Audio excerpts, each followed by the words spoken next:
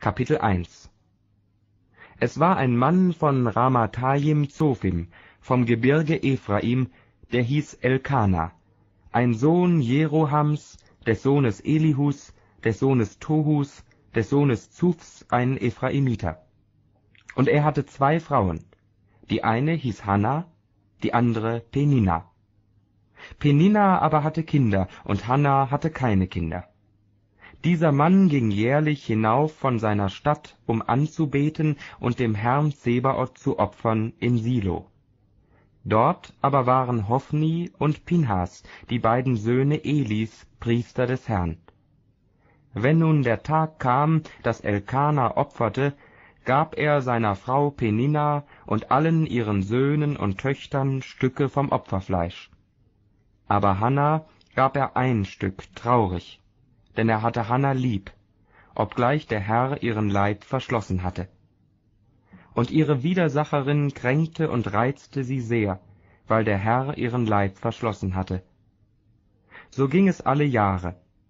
Wenn sie hinaufzog zum Haus des Herrn, kränkte jene sie. Dann weinte Hanna und aß nichts. Elkana aber, ihr Mann, sprach zu ihr, Hanna, warum weinst du und warum issest du nichts? Und warum ist dein Herz so traurig? Bin ich dir nicht mehr wert als zehn Söhne? Da stand Hanna auf, nachdem sie in Silo gegessen und getrunken hatten. Eli aber, der Priester, saß auf einem Stuhl am Türpfosten des Tempels des Herrn. Und sie war von Herzen betrübt und betete zum Herrn und weinte sehr und gelobte ein Gelübde und sprach, Herr Zebaoth, wirst du das Elend deiner Magd ansehen und an mich gedenken und deiner Magd nicht vergessen? Und wirst du deiner Magd einen Sohn geben, so will ich ihn dem Herrn geben sein Leben lang, und es soll kein Schermesser auf sein Haupt kommen. Und als sie lange betete vor dem Herrn, achtete Eli auf ihren Mund. Denn Hanna redete in ihrem Herzen, nur ihre Lippen bewegten sich, ihre Stimme aber hörte man nicht. Da meinte Eli, sie wäre betrunken und sprach zu ihr, Wie lange willst du betrunken sein? Gib den Wein von dir, den du getrunken hast. Hanna aber antwortete und sprach, Nein, mein Herr, ich bin ein betrübtes Weib. Wein und starkes Getränk habe ich nicht getrunken, sondern mein Herz vor dem Herrn ausgeschüttet. Du wollest deine Magd nicht für ein zuchtloses Weib halten, denn ich hab aus meinem großen Kummer und Herzeleid so lange geredet. Eli antwortete und sprach, Geh hin mit Frieden, der Gott Israels wird dir die Bitte erfüllen, die du an ihn gerichtet hast. Sie sprach, Lass deine Magd Gnade finden vor deinen Augen. Da ging die Frau ihres Weges und aß und sah nicht mehr so traurig drein. Und am andern Morgen machten sie sich früh auf. Und als sie angebetet hatten vor dem Herrn, kehrten sie wieder um und kamen heim nach Rama. Und Elkana erkannte Hanna seine Frau, und der Herr gedachte an sie. Und Hanna ward schwanger. Und als die Tage um waren, gebar sie einen Sohn und nannte ihn Samuel. Denn, so sprach sie, ich hab ihn von dem Herrn erbeten. Und als der Mann Elkana hinaufzog mit seinem ganzen Hause, um das jährliche Opfer dem Herrn zu opfern und sein Gelübde zu erfüllen, zog Hanna nicht mit hinauf, sondern sprach zu ihrem Mann, Wenn der Knabe entwöhnt ist, will ich ihn bringen, dass er vor dem Herrn erscheine und dort für immer bleibe. Ihr Mann Elkana sprach zu ihr, So tu, wie dir's gefällt. Bleib, bis du ihn entwöhnt hast. Der Herr aber bestätige, was er geredet hat. So blieb die Frau und stillte ihren Sohn, bis sie ihn entwöhnt hatte. Nachdem sie ihn entwöhnt hatte, nahm sie ihn mit sich hinauf nach Silo, dazu einen dreijährigen Stier, einen Scheffel Mehl und einen Krug Wein, und brachte ihn in das Haus des Herrn. Der Knabe war aber noch jung. Und sie schlachteten den Stier und brachten den Knaben zu Eli. Und sie sprach, Ach, mein Herr, so wahr du lebst, mein Herr, ich bin die Frau, die hier bei dir stand, um zum Herrn zu beten. Um diesen Knaben bat ich. Nun hat der Herr mir die Bitte erfüllt, die ich an ihn gerichtet hatte. Darum gebe ich ihn dem Herrn wieder sein Leben lang, weil er vom Herrn erbeten ist. Und sie beteten dort den Herrn an. Kapitel 2 Und Hannah betete und sprach, Mein Herz ist fröhlich in dem Herrn, mein Haupt ist erhöht in dem Herrn. Mein Mund hat sich weit aufgetan wider meine Feinde, denn ich freue mich deines Heils. Es ist niemand heilig wie der Herr, außer dir ist keiner, und ist kein Fels wie unser Gott ist. Lasst euer großes Rühmen und Trotzen, freches Reden gehe nicht aus eurem Munde, denn der Herr ist ein Gott, der es merkt, und von ihm werden Taten gewogen. Der Bogen der Starken ist zerbrochen, und die Schwachen sind umgürtet mit Stärke. Die da satt waren, müssen um Brot dienen, und die Hunger litten, hungert nicht mehr. Die Unfruchtbare hat sieben geboren, und die viele Kinder hatte, welkt dahin. Der Herr tötet und macht lebendig, führt hinab zu den Toten und wieder herauf. Der Herr macht arm und macht reich, er erniedrigt und erhöht. Er hebt auf den Dürftigen aus dem Staub und erhöht den Armen aus der Asche, dass er ihn setze unter die Fürsten und den Thron der Ehre erben lasse. Denn der Welt Grundfesten sind des Herrn, und er hat die Erde darauf gesetzt. Er wird behüten die Füße seiner Heiligen, aber die Gottlosen sollen zunichte werden in Finsternis. Denn viel Macht hilft doch niemand die mit dem Herrn hadern, sollen zugrunde gehen. Der Höchste im Himmel wird sie zerschmettern, der Herr wird richten der Welt enden. Er wird Macht geben seinem Könige und erhöhen das Haupt seines Gesalbten. Und Elkana ging heim nach Rama in sein Haus. Der Knabe aber war des Herrn Diener vor dem Priester Eli. Aber die Söhne Elis waren ruchlose Männer die fragten nichts nach dem Herrn noch danach, was dem Priester zustände vom Volk.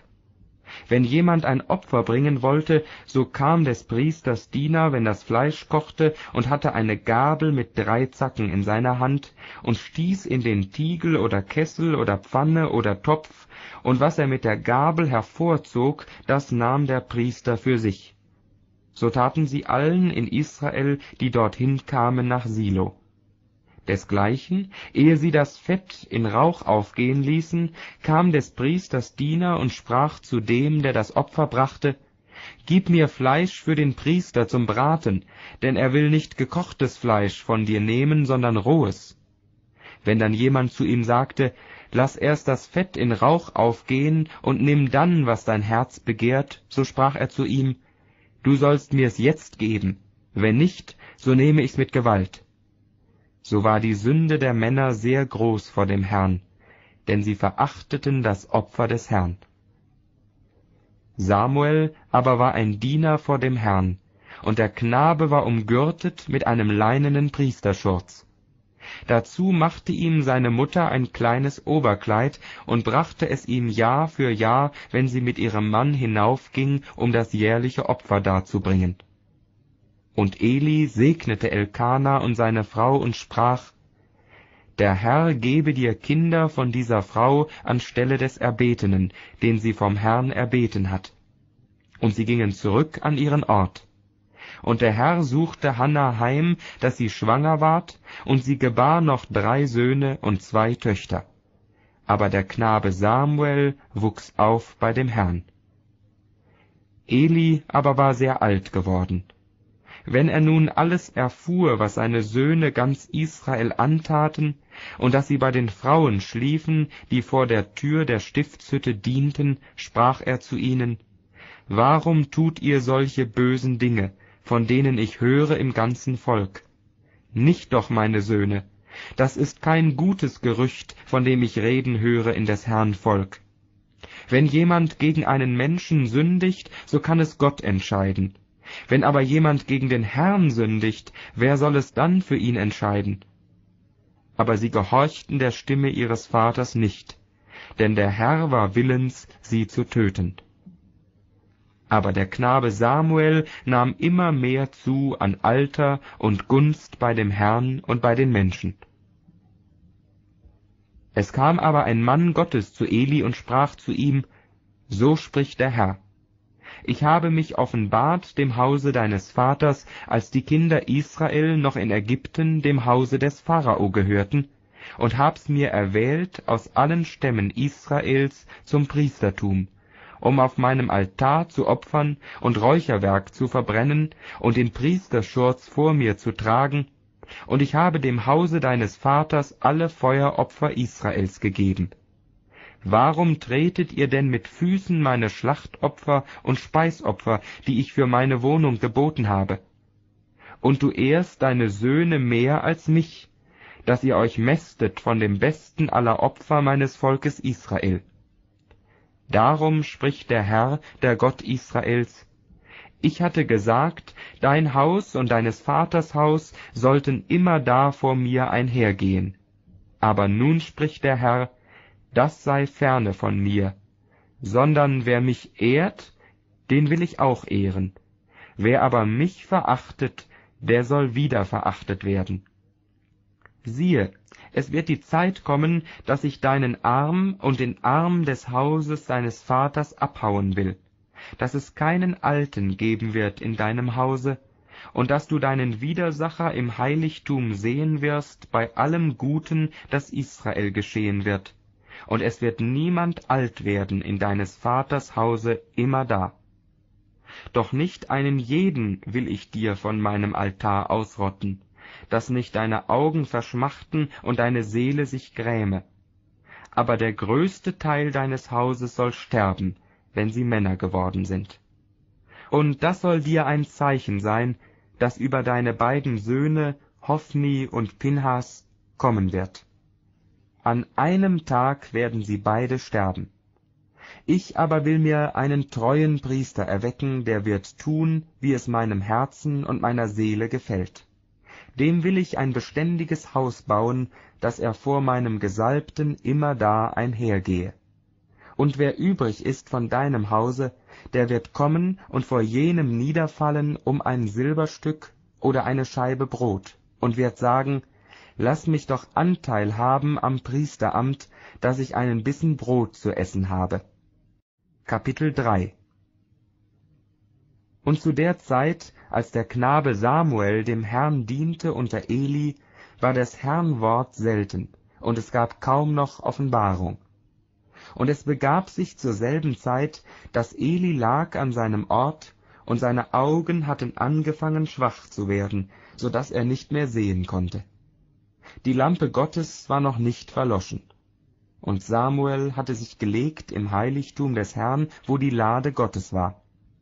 Und der Herr rief Samuel. Er aber antwortete, siehe, hier bin ich, und lief zu Eli und sprach, siehe, hier bin ich, du hast mich gerufen. Er aber sprach, ich habe nicht gerufen, geh wieder hin und lege dich schlafen. Und er ging hin und legte sich schlafen. Der Herr rief abermals, Samuel. Und Samuel stand auf und ging zu Eli und sprach, siehe, hier bin ich, du hast mich gerufen. Er aber sprach, ich habe nicht gerufen, mein Sohn, geh wieder hin und lege dich schlafen. Aber Samuel hatte den Herrn noch nicht erkannt, und des Herrn Wort war ihm noch nicht offenbart. Und der Herr rief Samuel wieder zum dritten Mal, und er stand auf und ging zu Eli und sprach, siehe, hier bin ich, du hast mich gerufen. Da merkte Eli, dass der Herr den Knaben rief und sprach zu ihm, Geh wieder hin und lege dich schlafen, und wenn du gerufen wirst, so sprich, Rede, Herr, denn dein Knecht hört. Samuel ging hin und legte sich an seinen Ort. Da kam der Herr und trat herzu und rief wie vorher, Samuel, Samuel. Und Samuel sprach, Rede, denn dein Knecht hört. Und der Herr sprach zu Samuel, Siehe, ich werde etwas tun in Israel, wovon jedem, der es hören wird, beide Ohren gellen werden. An dem Tage will ich über Eli kommen lassen, was ich gegen sein Haus geredet habe. Ich will es anfangen und vollenden. Denn ich hab's ihm angesagt, dass ich sein Haus für immer richten will, um der Schuld willen, dass er wusste, wie sich seine Söhne schändlich verhielten und ihnen nicht gewehrt hat. Darum habe ich dem Hause Eli geschworen, dass die Schuld des Hauses Eli nicht gesühnt werden solle, weder mit Schlachtopfern noch mit Speisopfern immerdar. Und Samuel lag bis an den Morgen und tat dann die Türen auf am Hause des Herrn. Samuel aber fürchtete sich, Eli anzusagen, was ihm offenbart worden war. Da rief ihn Eli und sprach, Samuel, mein Sohn. Er antwortete, siehe, hier bin ich. Er sprach, was war das für ein Wort, das er dir gesagt hat? Verschweige mir nichts. Gott tue dir dies und das, wenn du mir etwas verschweigst von all den Worten, die er dir gesagt hat.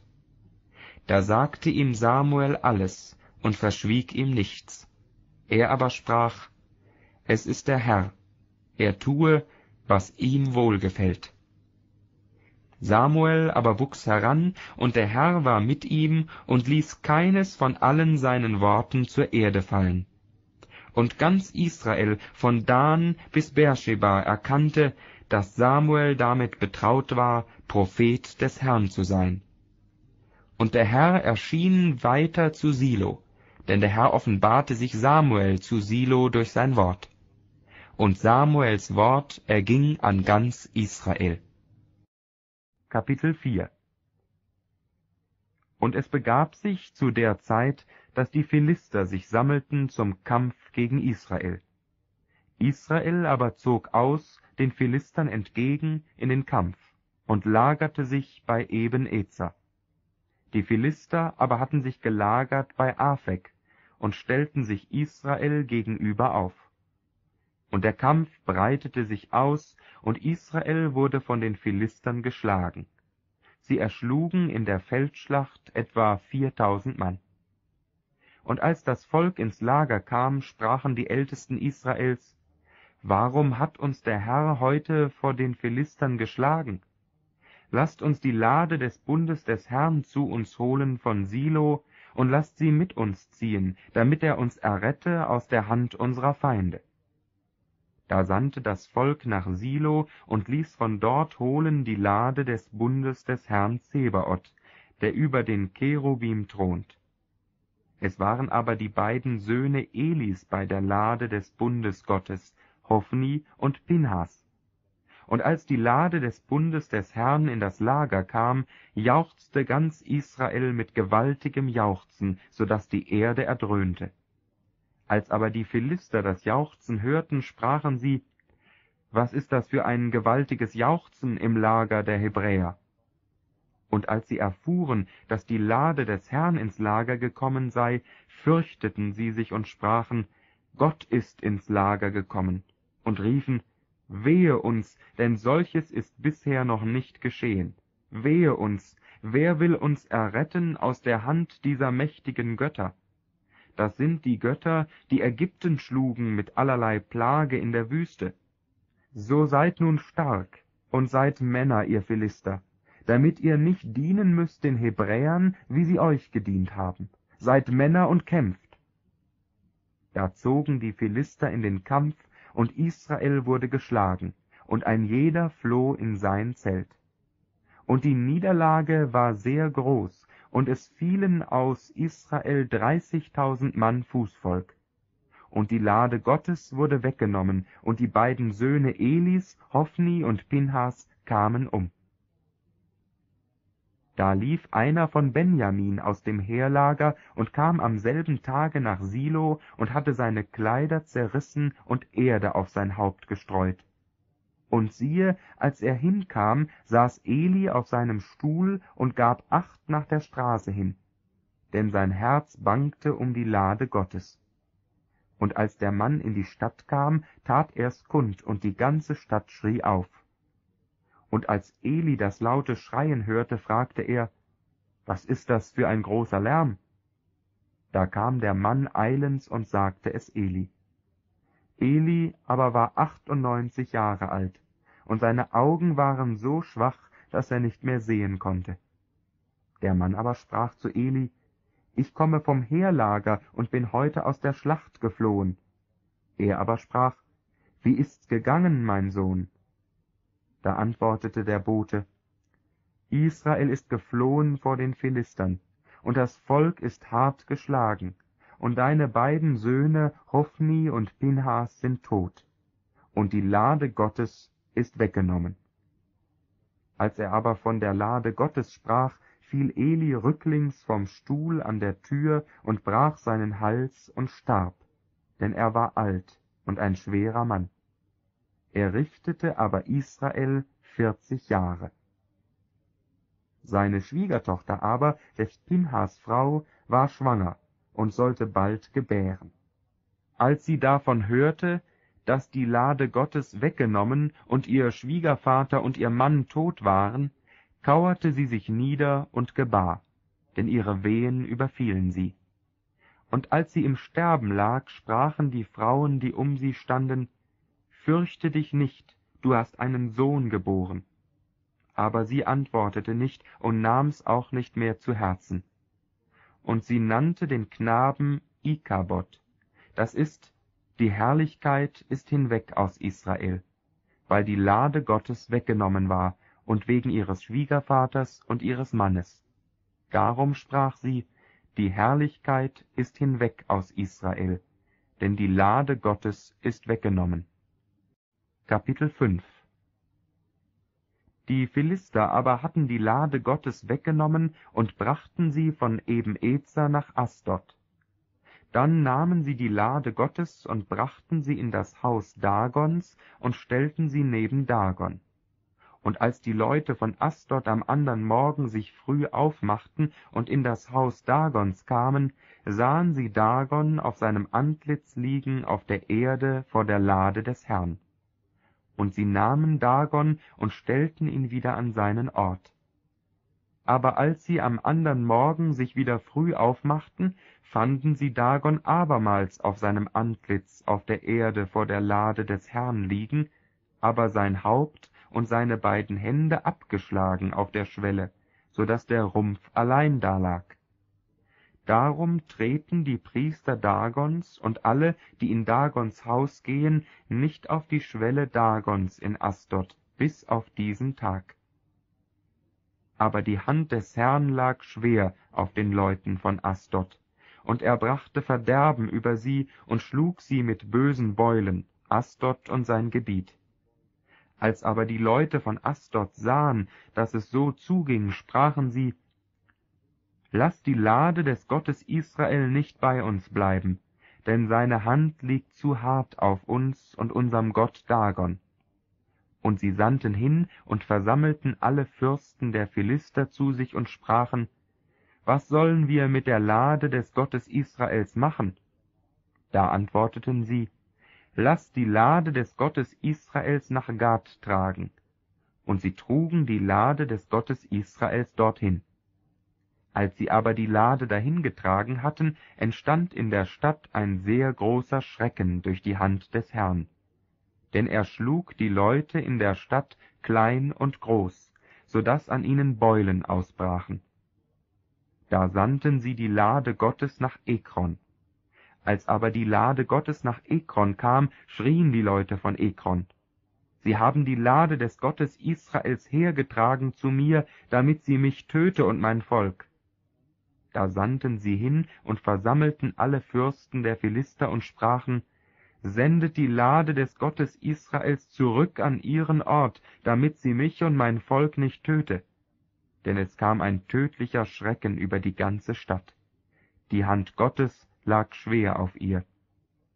Und die Leute, die nicht starben, wurden geschlagen mit Beulen, und das Geschrei der Stadt stieg auf gen Himmel.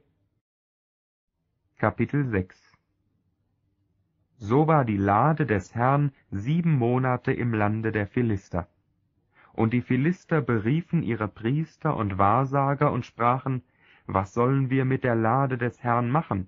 Lasst uns wissen, wie wir sie an ihren Ort senden sollen. Sie sprachen, Wollt ihr die Lade des Gottes Israels zurücksenden, so sendet sie nicht ohne eine Gabe, sondern gebt ihm eine Sühnegabe. so werdet ihr gesund werden, und es wird euch kund werden, warum seine Hand nicht von euch ablässt. Sie aber sprachen, Was ist die Sühnegabe, die wir ihm geben sollen?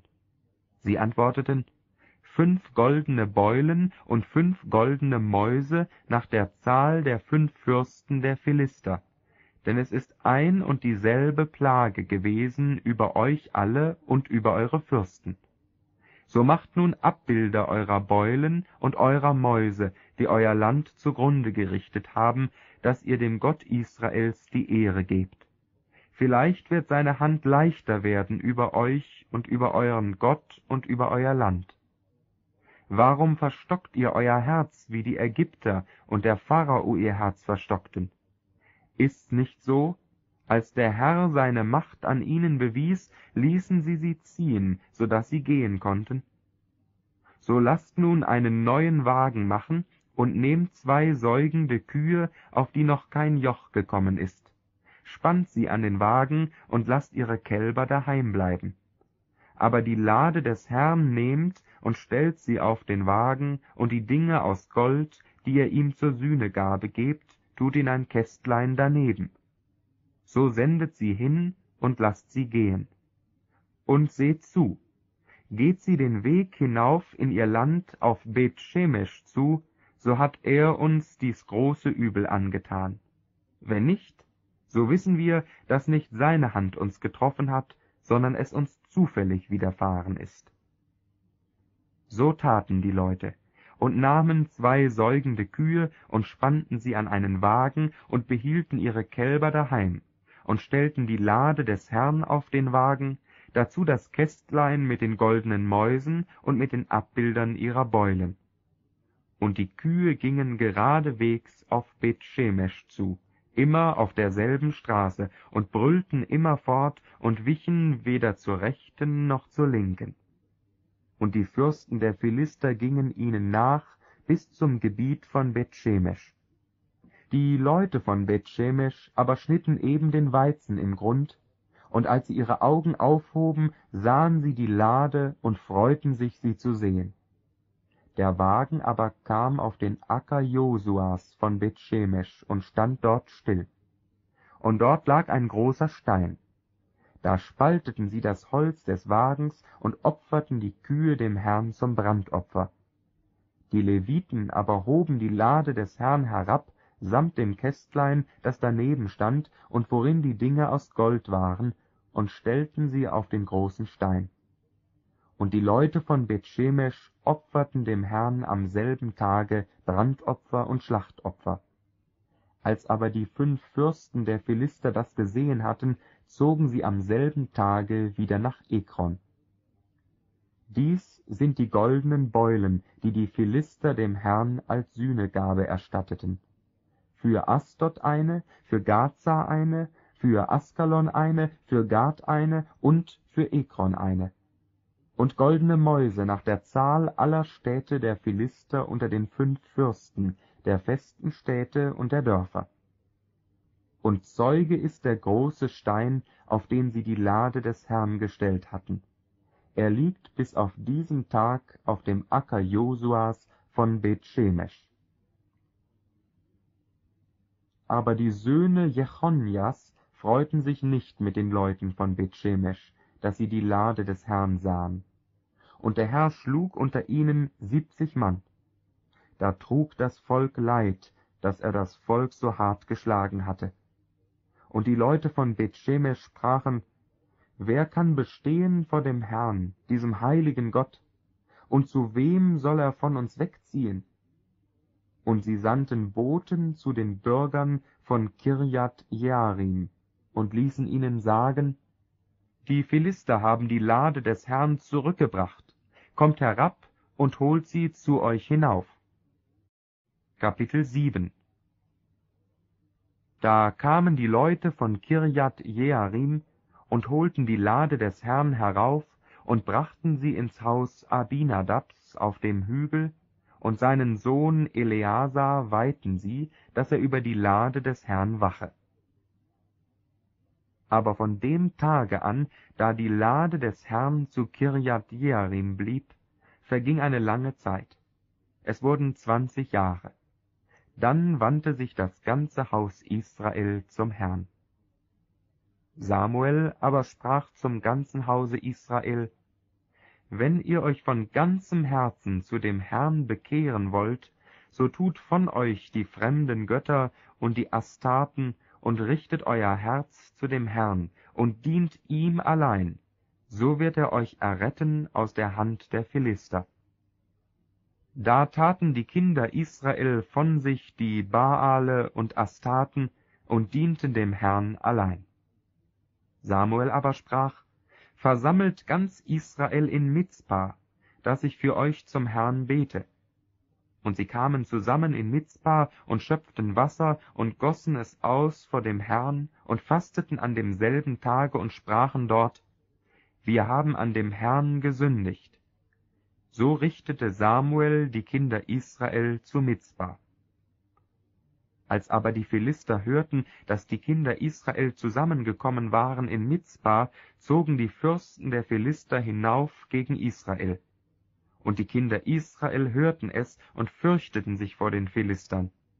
Und sie sprachen zu Samuel, Lass nicht ab, für uns zu schreien zu dem Herrn unserem Gott, dass er uns helfe aus der Hand der Philister. Samuel nahm ein Milchlamm und opferte dem Herrn ein Brandopfer als Ganzopfer und schrie zum Herrn für Israel, und der Herr erhörte ihn. Und während Samuel das Brandopfer opferte, kamen die Philister heran zum Kampf gegen Israel. Aber der Herr ließ donnern mit großem Schall über die Philister am selben Tage und erschreckte sie, dass sie vor Israel geschlagen wurden. Da zogen die Männer Israels aus von Mizpa und jagten den Philistern nach und schlugen sie bis unterhalb von Bet Ka.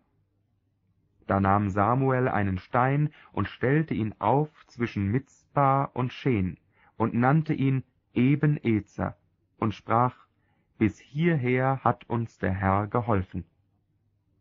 So wurden die Philister gedemütigt und kamen nicht mehr in das Gebiet Israels. Und die Hand des Herrn lag schwer auf den Philistern, solange Samuel lebte. Auch eroberte Israel die Städte zurück, die die Philister ihnen genommen hatten, von Ekron bis Gad, samt ihrem Gebiet. Die errettete Israel aus der Hand der Philister und Israel hatte Frieden mit den Amoritern. Samuel aber richtete Israel sein Leben lang und zog Jahr für Jahr umher und kam nach Bethel und Gilgal und Mizpa. Und wenn er Israel an allen diesen Orten gerichtet hatte, kam er wieder nach Rama, denn da war sein Haus, und dort richtete er Israel. Auch baute er dort dem Herrn einen Altar. Kapitel 8 Als aber Samuel alt geworden war, setzte er seine Söhne als Richter über Israel ein. Sein erstgeborener Sohn hieß Joel und der andere Abia, und sie waren Richter zu Beersheba. Aber seine Söhne wandelten nicht in seinen Wegen, sondern suchten ihren Vorteil und nahmen Geschenke und beugten das Recht. Da versammelten sich alle Ältesten Israels und kamen nach Rama zu Samuel und sprachen zu ihm, Siehe, du bist alt geworden, und deine Söhne wandeln nicht in deinen Wegen. So setze nun einen König über uns, der uns richte, wie ihn alle Heiden haben. Das missfiel Samuel, dass sie sagten, Gib uns einen König, der uns richte. Und Samuel betete zum Herrn. Der Herr aber sprach zu Samuel, Gehorche der Stimme des Volks in allem, was sie zu dir gesagt haben, denn sie haben nicht dich, sondern mich verworfen, dass ich nicht mehr König über sie sein soll. Sie tun dir, wie sie immer getan haben, von dem Tage an, da ich sie aus Ägypten führten, bis auf diesen Tag, dass sie mich verlassen und anderen Göttern gedient haben. So gehorche nun ihrer Stimme doch warne sie und verkünde ihnen das Recht des Königs, der über sie herrschen wird. Und Samuel sagte alle Worte des Herrn dem Volk, das von ihm einen König forderte, und sprach, das wird des Königs Recht sein, der über euch herrschen wird. Eure Söhne wird er nehmen für seinen Wagen und seine Gespanne, und dass sie vor seinem Wagen herlaufen, und zu Hauptleuten über tausend und über fünfzig, und dass sie ihm seinen Acker bearbeiten und seine Ernte einsammeln, und dass sie seine Kriegswaffen machen und was zu seinen Wagen gehört. Eure Töchter aber wird er nehmen, dass sie Salben bereiten, kochen und backen. Eure besten Äcker und Weinberge und Ölgärten wird er nehmen und seinen Großen geben. Dazu von euren Kornfeldern und Weinbergen wird er den Zehnten nehmen und seinen Kämmerern und Großen geben. Und eure Knechte und Mägde und eure besten Rinder und eure Esel wird er nehmen und in seinen Dienst stellen. Von euren Herden wird er den Zehnten nehmen, und ihr müsst seine Knechte sein. Wenn ihr dann schreien werdet zu der Zeit über euren König, den ihr euch erwählt habt, so wird euch der Herr zu derselben Zeit nicht erhören. Aber das Volk weigerte sich, auf die Stimme Samuels zu hören, und sie sprachen, Nein, sondern ein König soll über uns sein, dass wir auch seien wie alle Heiden, dass uns unser König richte und vor uns her ausziehe und unsere Kriege führe.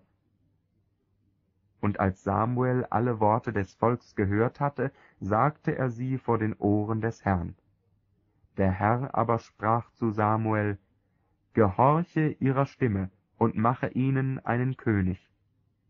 Und Samuel sprach zu den Männern Israels, Geht hin, ein jeder in seine Stadt. Kapitel 9 Es war ein Mann von Benjamin mit Namen Kis, ein Sohn Abiels, des Sohnes Zeros, des Sohnes Bechorats, des Sohnes Aphias, des Sohnes eines Benjaminiters, ein angesehener Mann. Der hatte einen Sohn mit Namen Saul. Der war ein junger, schöner Mann, und es war niemand unter den Kindern Israel so schön wie er, eines Hauptes länger als alles Volk. Es hatte aber Kis, der Vater Sauls, die Eselinnen verloren. Und er sprach zu seinem Sohn Saul, Nimm einen der Knechte mit dir, mach dich auf Geh hin und suche die Eselinnen. Und sie gingen durch das Gebirge Ephraim und durch das Gebiet von Schalischa und fanden sie nicht. Sie gingen durch das Gebiet von Schaalim, und sie waren nicht da. Sie gingen durchs Gebiet von Benjamin und fanden sie nicht. Als sie aber ins Gebiet von Zuf kamen, sprach Saul zu dem Knecht, der bei ihm war, Komm, lass uns wieder heimgehen, mein Vater könnte sich sonst statt um die Eselinnen um uns sorgen. Der aber sprach, siehe, es ist ein berühmter Mann Gottes in dieser Stadt. Alles, was er sagt, das trifft ein. Nun lass uns da hingehen, vielleicht sagt er uns unsern Weg, den wir gehen sollen. Saul aber sprach zu seinem Knecht, Wenn wir schon hingehen, was bringen wir dem Mann? Denn das Brot in unserem Sack ist verzehrt, und wir haben keine Gabe, die wir dem Mann Gottes bringen könnten. Was haben wir sonst? Der Knecht antwortete Saul abermals und sprach, Siehe, ich hab einen Viertel Silbertaler bei mir, den wollen wir dem Mann Gottes geben, dass er uns unsern Weg sage. Saul sprach zu seinem Knecht, Du hast recht geredet, komm, lass uns gehen. Und als sie hingingen nach der Stadt, wo der Mann Gottes war, und den Aufgang zur Stadt hinaufstiegen, trafen sie Mädchen, die hinausgingen, um Wasser zu schöpfen. Zu ihnen sprachen sie, Ist der Seher hier?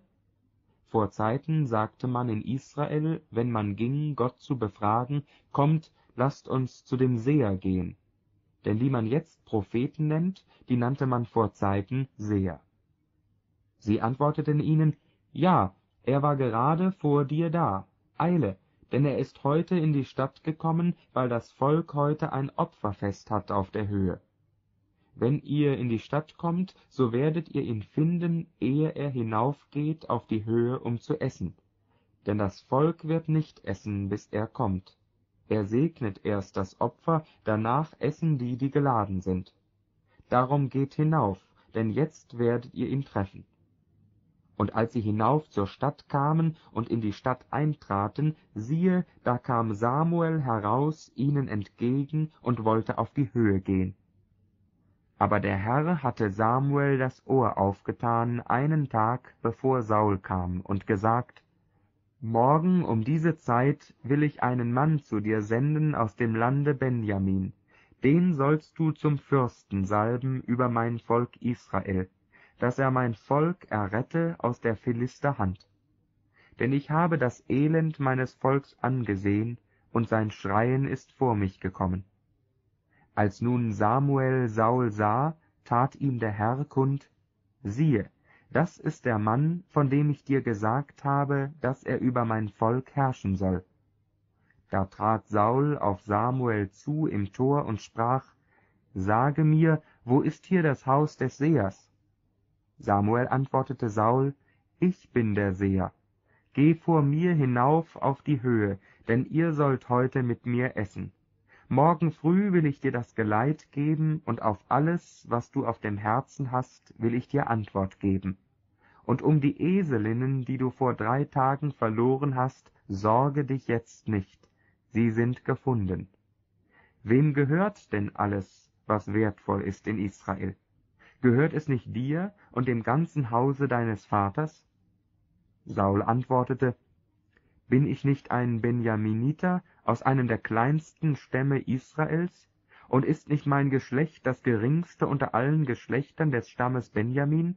Warum sagst du mir solches? Samuel aber nahm Saul und seinen Knecht und führte sie in die Halle und setzte sie obenan unter die Geladenen, und das waren etwa dreißig Mann. Und Samuel sprach zu dem Koch, Gib das Stück her, das ich dir gab und dabei befahl, du solltest es bei dir zurückbehalten. Da trug der Koch eine Keule auf und den Fettschwanz. Und er legte sie Saul vor und sprach, Siehe, hier ist das übriggebliebene, leg es vor dich hin und iß. Denn als ich das Volk einlud, ist es für dich aufbewahrt worden für diese Stunde. So aß Saul an jenem Tage mit Samuel. Und als sie hinabgegangen waren von der Höhe der Stadt, machten sie Saul ein Lager auf dem Dach, und er legte sich schlafen. Und als die Morgenröte aufging, rief Samuel zum Dach hinauf und sprach zu Saul, Steh auf, dass ich dich geleite. Und Saul stand auf, und die beiden gingen miteinander hinaus, er und Samuel. Und als sie hinabkamen an das Ende der Stadt, sprach Samuel zu Saul, Sage dem Knecht, dass er uns vorangehe. Und er ging voran. Du aber steh jetzt still, dass ich dir kundtue, was Gott gesagt hat. Kapitel 10 da nahm Samuel den Krug mit Öl und goss es auf sein Haupt und küsste ihn und sprach, siehe, der Herr hat dich zum Fürsten über sein Erbteil gesalbt. Wenn du jetzt von mir gehst, so wirst du zwei Männer finden bei dem Grabe Rahels an der Grenze Benjamins bei Zelzach. Die werden zu dir sagen, die Eselinnen sind gefunden, die du zu suchen ausgezogen bist. Aber siehe, dein Vater hat die Esel nicht mehr im Sinn und sorgt sich um euch und spricht, was soll ich wegen meines Sohnes tun? Und wenn du von da weitergehst, wirst du zur Eiche Tabor kommen. Dort werden dich drei Männer treffen, die hinaufgehen zu Gott nach Bethel. Einer trägt drei Böcklein, der andere drei Brote, der dritte einen Krug mit Wein und sie werden dich freundlich grüßen und dir zwei Brote geben, die sollst du von ihren Händen annehmen. Danach wirst du nach Gibea Gottes kommen, wo die Wache der Philister ist. Und wenn du dort in die Stadt kommst, wird dir eine Schar von Propheten begegnen, die von der Höhe herabkommen, und vor ihnen her Harfe und Pauke und Flöte und Zither, und sie werden in Verzückung sein und der Geist des Herrn wird über dich kommen, dass du mit ihnen in Verzückung gerätst. Da wirst du umgewandelt und ein anderer Mensch werden. Wenn bei dir nun diese Zeichen eintreffen, so tu, was dir vor die Hände kommt, denn Gott ist mit dir. Du sollst aber vor mir hinabgehen nach Gilgal.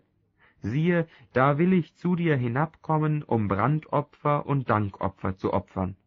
Sieben Tage sollst du warten, bis ich zu dir komme und dir kundtue, was du tun sollst. Und als Saul sich wandte, um von Samuel wegzugehen, gab ihm Gott ein anderes Herz. Und alle diese Zeichen trafen ein an demselben Tag.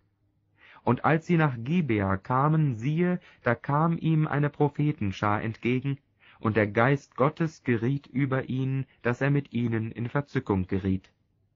Als sie sahen, dass er mit den Propheten in Verzückung war, sprachen alle, die ihn früher gekannt hatten, untereinander, Was ist mit dem Sohn des Kis geschehen? Ist Saul auch unter den Propheten? Und einer von dort sprach, Wer ist denn schon ihr Vater? Daher ist das Sprichwort gekommen, Ist Saul auch unter den Propheten? Und als seine Verzückung aufgehört hatte, kam er nach Gibea. Es sprach aber Sauls Oheim zu ihm und zu seinem Knecht, Wo seid ihr hingegangen? Er antwortete, Die Eselinnen zu suchen. Und als wir sahen, dass sie nicht da waren, gingen wir zu Samuel. Da sprach der Oheim Sauls, Sage mir, was sagte euch Samuel? Saul antwortete seinem Oheim, Er sagte uns, dass die Eselinnen gefunden seien. Aber was Samuel von dem Königtum gesagt hatte, sagte er ihm nicht. Samuel aber rief das Volk zusammen zum Herrn nach Mizpa und sprach zu den Kindern Israel, So sagt der Herr, der Gott Israels.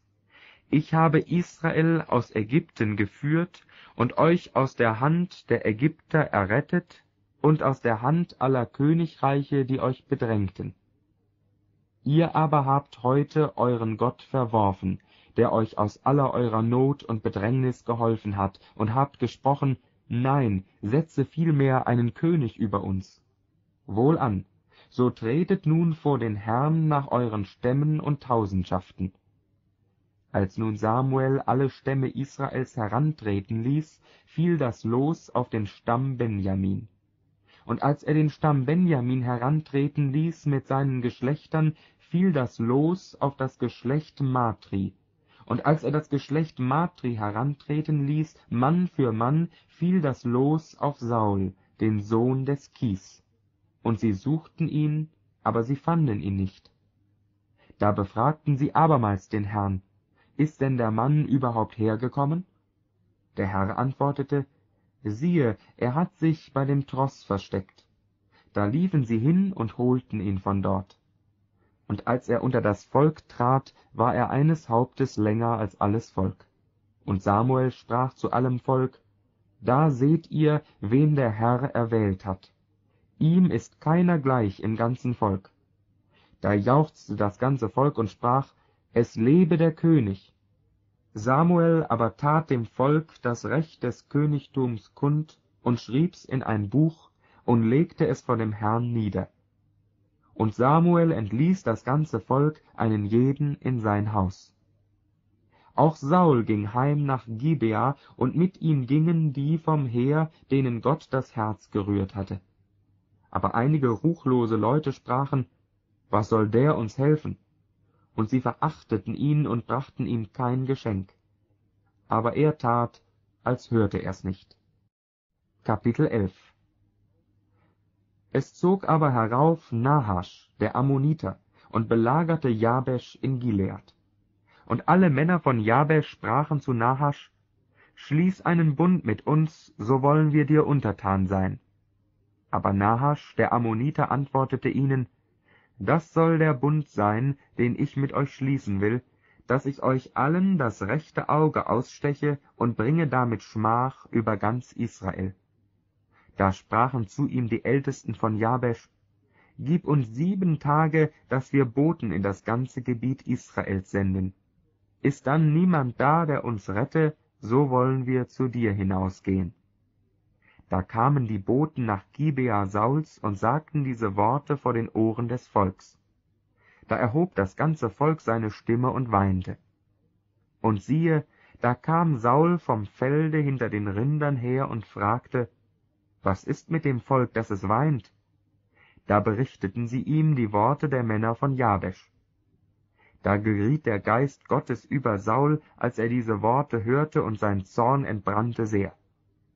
Und er nahm ein paar Rinder und zerstückte sie und sandte davon in das ganze Gebiet Israels durch die Boten und ließ sagen, Wer nicht mit Saul und Samuel auszieht, mit dessen Rindern soll man ebenso tun.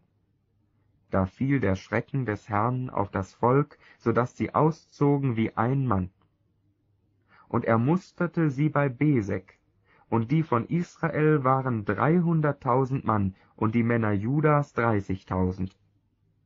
Und er sagte den Boten, die gekommen waren, So sagt den Männern von Jabesch in Gilead, Morgen soll euch Hilfe werden, wenn die Sonne beginnt heiß zu scheinen. Als die Boten heimkamen und das den Männern von Jabesch verkündeten, wurden diese froh.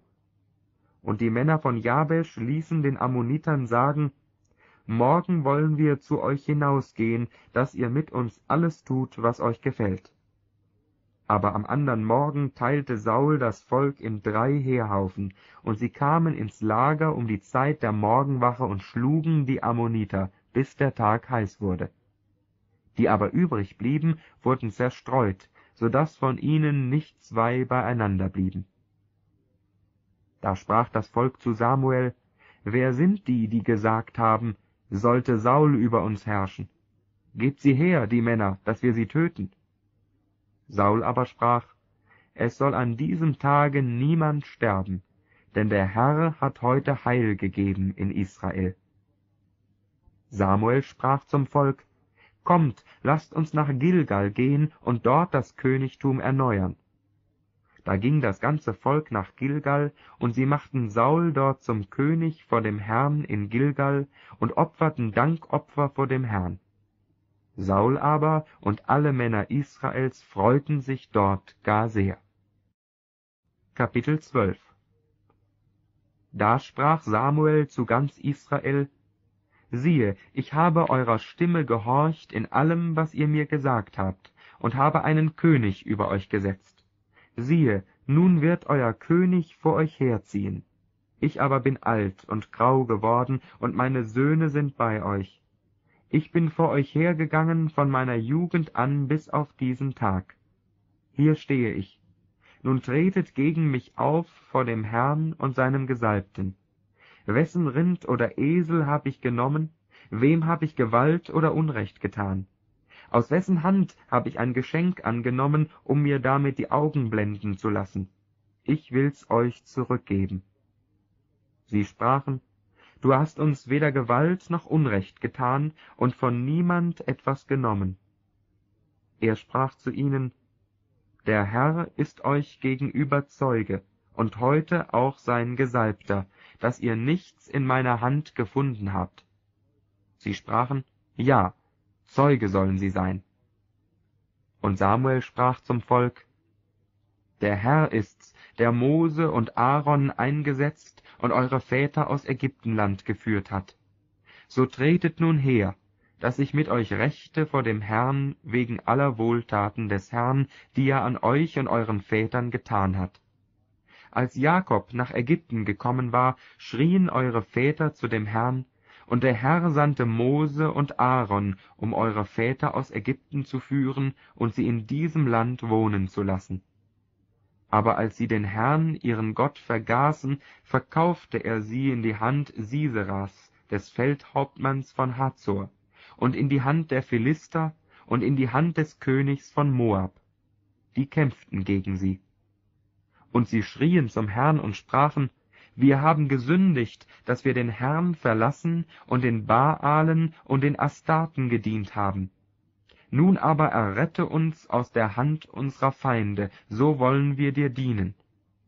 Da sandte der Herr Jerubaal, Barak, Jephtat und Samuel und errettete euch aus der Hand eurer Feinde ringsum und ließ euch sicher wohnen.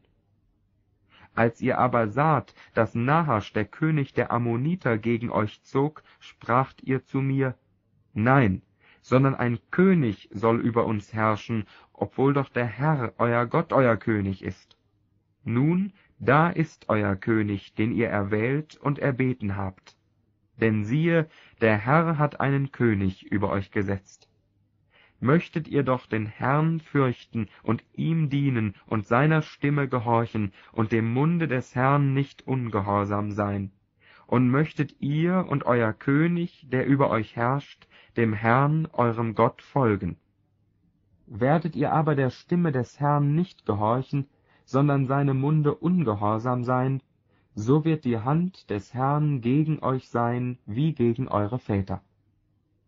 So tretet nun herzu und seht, was der Herr Großes vor euren Augen tun wird. Ist nicht jetzt die Weizenernte? Ich will aber den Herrn anrufen, dass er soll donnern und regnen lassen, damit ihr inne werdet und seht, dass ihr getan habt, was dem Herrn missfiel, als ihr euch einen König erbeten habt. Und als Samuel den Herrn anrief, ließ der Herr donnern und regnen an demselben Tage. Da fürchtete das ganze Volk den Herrn und Samuel gar sehr und sprach zu Samuel, Bitte für deine Knechte den Herrn, deinen Gott, dass wir nicht sterben. Denn zu allen unseren Sünden haben wir noch das Unrecht getan, dass wir uns einen König erbeten haben.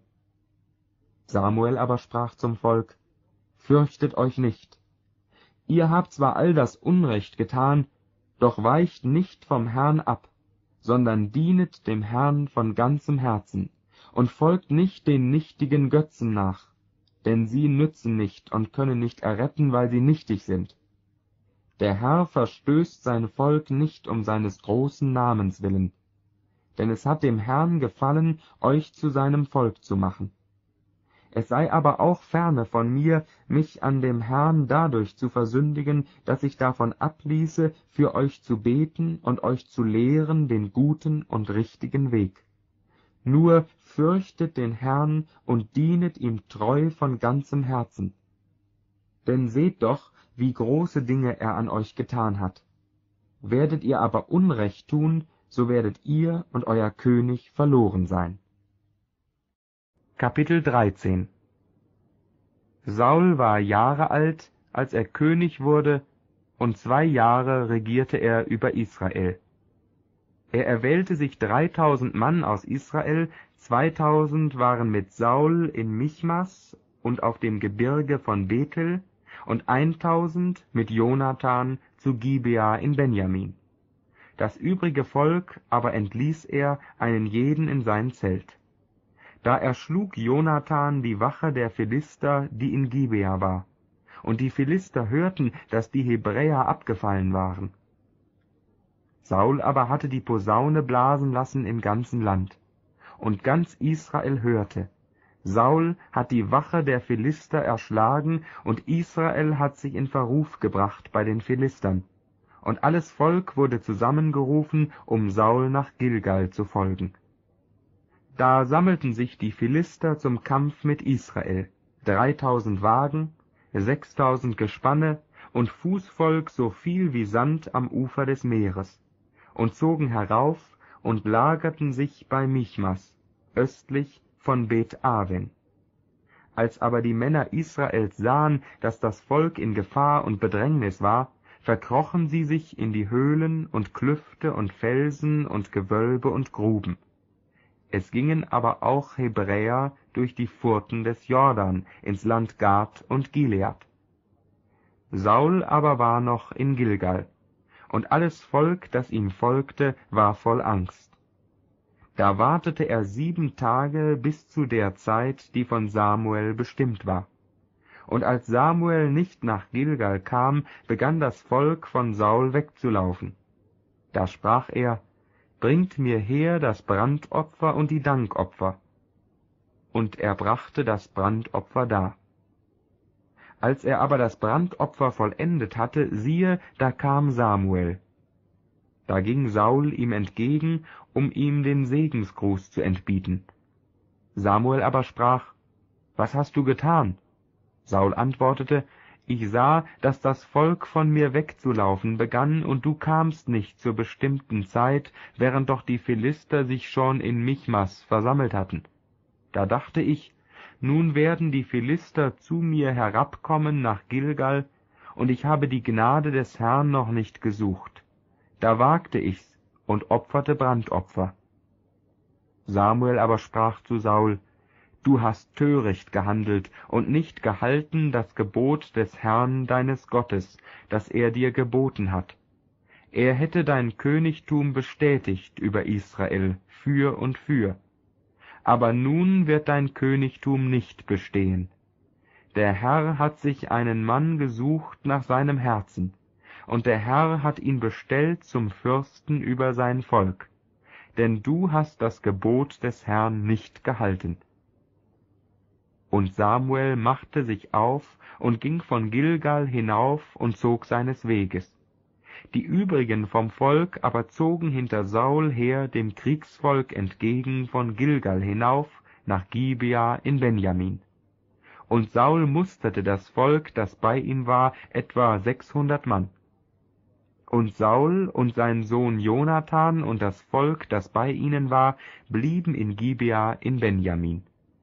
Die Philister aber hatten sich gelagert bei Michmas. Da zogen aus dem Lager der Philister drei Heerhaufen das Land zu verheeren. Einer wandte sich in Richtung auf Ophra ins Gebiet von Schual. Der andere wandte sich in Richtung auf Bet-Horon. Der dritte wandte sich in Richtung auf das Gebiet, das nach dem Tal Zebuim der Wüste zugelegen ist es war aber kein Schmied im ganzen Lande Israel zu finden, denn die Philister dachten, die Hebräer könnten sich Schwert und Spieß machen. Und ganz Israel musste hinabziehen zu den Philistern, wenn jemand eine Pflugschar, Hacke, Beil oder Sense zu schärfen hatte. Das Schärfen aber geschah für ein Zweidrittellot Silber bei Pflugscharen, Hacken, Gabeln, Beilen und um die Stacheln gerade zu machen als nun der Tag des Kampfes kam, wurde kein Schwert noch Spieß gefunden in der Hand des ganzen Volks, das mit Saul und Jonathan war. Nur Saul und sein Sohn hatten Waffen. Aber eine Wache der Philister zog heran gegen den engen Weg von Michmas. Kapitel 14 Es begab sich eines Tages, dass Jonathan, der Sohn Sauls, zu seinem Waffenträger sprach, Komm, lass uns hinübergehen zu der Wache der Philister, die da drüben ist. Aber seinem Vater sagte er nichts. Saul aber saß am Rande des Gebietes von Gibea unter dem Granatapfelbaum, der in Migron steht. Und die Leute bei ihm waren etwa sechshundert Mann. Und Ahia, der Sohn Ahitubs, des Bruders Ikabots, des Sohnes des Pinhas, des Sohnes Elis, des Priesters des Herrn zu Silo, trug den Priesterschurz. Das Volk wusste aber nicht, dass Jonathan weggegangen war. Es waren aber an dem engen Wege, wo Jonathan hinüberzugehen suchte zu der Wache der Philister, zwei Felsklippen, die eine diesseits, die andere jenseits. Die eine hieß Bozez, die andere Senne. Die eine Felsklippe stand im Norden gegenüber Michmas und die andere im Süden gegenüber Geba. Und Jonathan sprach zu seinem Waffenträger, Komm, lass uns hinübergehen zu der Wache dieser Unbeschnittenen. Vielleicht wird der Herr etwas für uns tun, denn es ist dem Herrn nicht schwer, durch viel oder wenig zu helfen. Da antwortete ihm sein Waffenträger, Tu alles, was in deinem Herzen ist, geh nur hin. Siehe, ich bin mit dir, wie dein Herz will.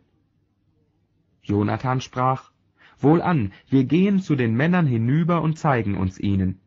Werden sie dann zu uns sagen, steht still, bis wir zu euch herankommen, so wollen wir an unserem Ort stehen bleiben und nicht zu ihnen hinaufgehen.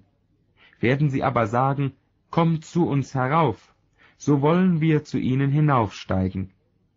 Dann hat sie der Herr in unsere Hände gegeben. Das soll uns zum Zeichen sein.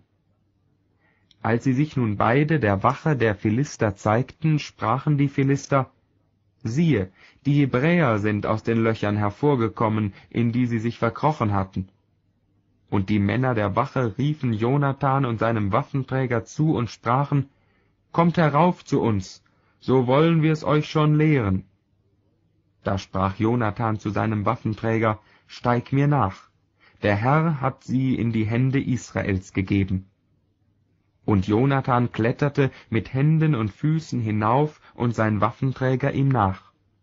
Da fielen sie zu Boden vor Jonathan, und sein Waffenträger hinter ihm tötete sie. So traf der erste Schlag, den Jonathan und sein Waffenträger taten, ungefähr zwanzig Mann, etwa auf einer halben Hufe Acker, die ein Joch Rinder pflügt. Und es entstand ein Schrecken im Lager und auf dem freien Felde, und das ganze Kriegsvolk, die Wache und die streifenden Rotten erschraken, und die Erde erbebte. Und so geschah ein Gottesschrecken. Und die Wächter Sauls zu Gibea in Benjamin sahen, wie das Getümmel der Philister hin und her wogte. Da sprach Saul zu dem Volk, das bei ihm war, Zählt und seht, wer von uns weggegangen ist. Und als sie zählten, siehe, da waren Jonathan und sein Waffenträger nicht da. Da sprach Saul zu Ahia, Bringe den Ephod herbei, denn er trug den Ephod zu jener Zeit vor Israel. Und als Saul noch mit dem Priester redete, wurde das Getümmel im Lager der Philister immer größer. Und Saul sprach zum Priester, Lass es sein. Und Saul und das ganze Volk, das bei ihm war, sammelten sich und kamen zum Kampfplatz. Und siehe, da ging eines jeden Schwert gegen den andern, und es war ein sehr großes Getümmel. Auch die Hebräer, die vorher bei den Philistern gewesen und mit ihnen ins Feld gezogen waren, gingen über zu denen von Israel, die mit Saul und Jonathan waren. Und als alle Männer von Israel, die sich auf dem Gebirge Ephraim verkrochen hatten, hörten, dass die Philister flohen, jagten sie hinter ihnen her im Kampf. So half der Herr Israel an diesem Tage. Und der Kampf breitete sich aus bis Bet-Aven. Und als die Männer Israels in Bedrängnis kamen an jenem Tage, belegte Saul das Volk mit seinem Fluch und schwor, Verflucht sei jeder Mann, der etwas isst bis zum Abend, bis ich mich an meinen Feinden räche. Da aß das ganze Volk nichts. Es waren aber Honigwaben auf dem Felde, und als das Volk hinkam zu den Waben, siehe, da floß der Honig. Aber niemand nahm davon etwas mit der Hand in seinen Mund, denn das Volk fürchtete den Schwur. Jonathan aber hatte nicht gehört, dass sein Vater das Volk mit einem Schwur belegt hatte, und er streckte seinen Stab aus, den er in seiner Hand hatte, und tauchte die Spitze in den Honigseim und führte seine Hand zum Munde da strahlten seine Augen. Da hob einer aus dem Volk an und sprach, Dein Vater hat das Volk mit einem Fluch belegt und geschworen, verflucht sei jeder Mann, der heute etwas isst. So ist das Volk nun matt geworden. Da sprach Jonathan, Mein Vater bringt das Land ins Unglück. Seht, wie strahlend sind meine Augen geworden, weil ich ein wenig von diesem Honig gekostet habe. Fürwahr, hätte doch das Volk heute gegessen von der Beute seiner Feinde, die es gemacht hat. Wäre dann die Niederlage der Philister nicht noch größer geworden?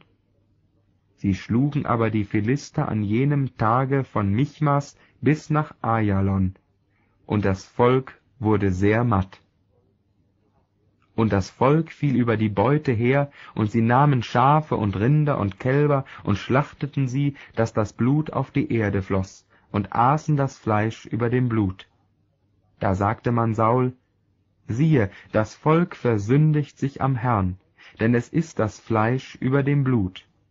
Er sprach, ihr habt gefrevelt, wälzt her zu mir einen großen Stein.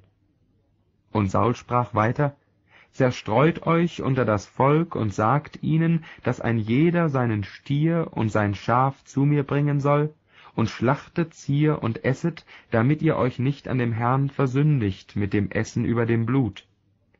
Da brachte alles Volk, ein jeder, was er hatte, noch in der Nacht herzu, und sie schlachteten es dort. Und Saul baute dem Herrn einen Altar. Das war der erste Altar, den er dem Herrn baute. Und Saul sprach, Lasst uns noch in der Nacht hinabziehen den Philistern nach und sie berauben, bis es lichter Morgen wird, und lasst niemand von ihnen übrig. Sie antworteten, Tu alles, was dir gefällt.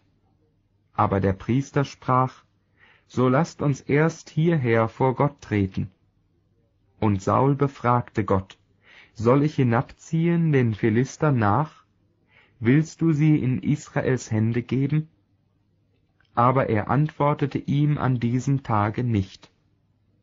Da sprach Saul, Lasst herzutreten alle Obersten des Volks und forschet und sehet, an wem heute die Schuld liegt. Denn so wahr der Herr lebt, der Heiland Israels. Auch wenn sie bei meinem Sohn Jonathan wäre, so soll er sterben. Aber niemand aus dem ganzen Volk antwortete ihm. Und er sprach zu ganz Israel, Tretet ihr auf die eine Seite, ich und mein Sohn Jonathan wollen auf die andere Seite treten. Das Volk sprach zu Saul, Tu, was dir gefällt. Und Saul sprach zum Herrn, Gott Israels, warum hast du deinem Knecht heute nicht geantwortet? Liegt die Schuld bei mir oder bei meinem Sohn Jonathan? Herr, Gott Israels, so gib das Los Licht.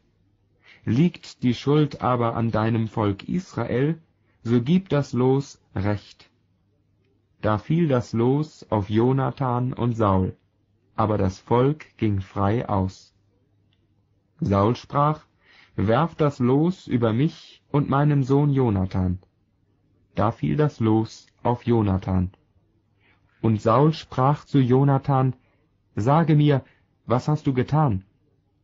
Jonathan sagte es ihm und sprach, Ich habe ein wenig Honig gekostet mit der Spitze des Stabes, den ich in meiner Hand hatte siehe, ich bin bereit zu sterben. Da sprach Saul, Gott tue mir dies und das, Jonathan, du musst des Todes sterben. Aber das Volk sprach zu Saul, sollte Jonathan sterben, der dies große Heil in Israel vollbracht hat, das sei ferne.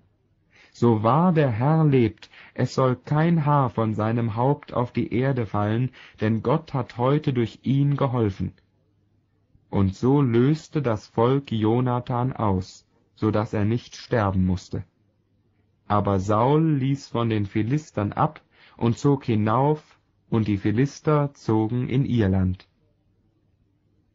Als Saul die Königsherrschaft über Israel erlangt hatte, kämpfte er gegen alle seine Feinde ringsumher, gegen die Moabiter, die Ammoniter, die Edomiter, gegen die Könige Zobas und gegen die Philister und wo er sich hinwandte, da gewann er den Sieg.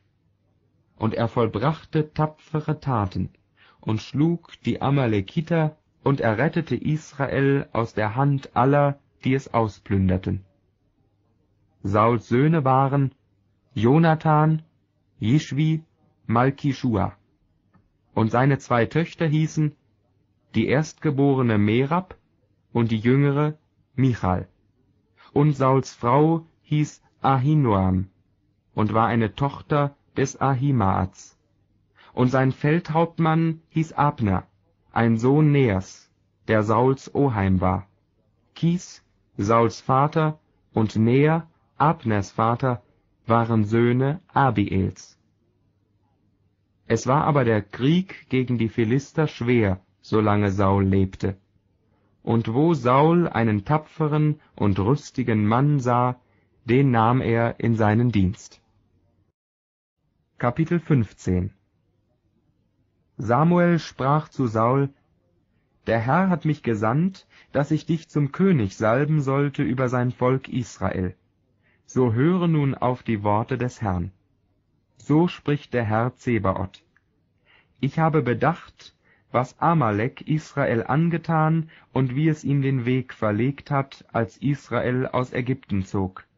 So zieh nun hin und schlag Amalek und vollstrecke den Bann an ihm und an allem, was es hat. Verschone sie nicht, sondern töte Mann und Frau, Kinder und Säuglinge, Rinder und Schafe, Kamele und Esel.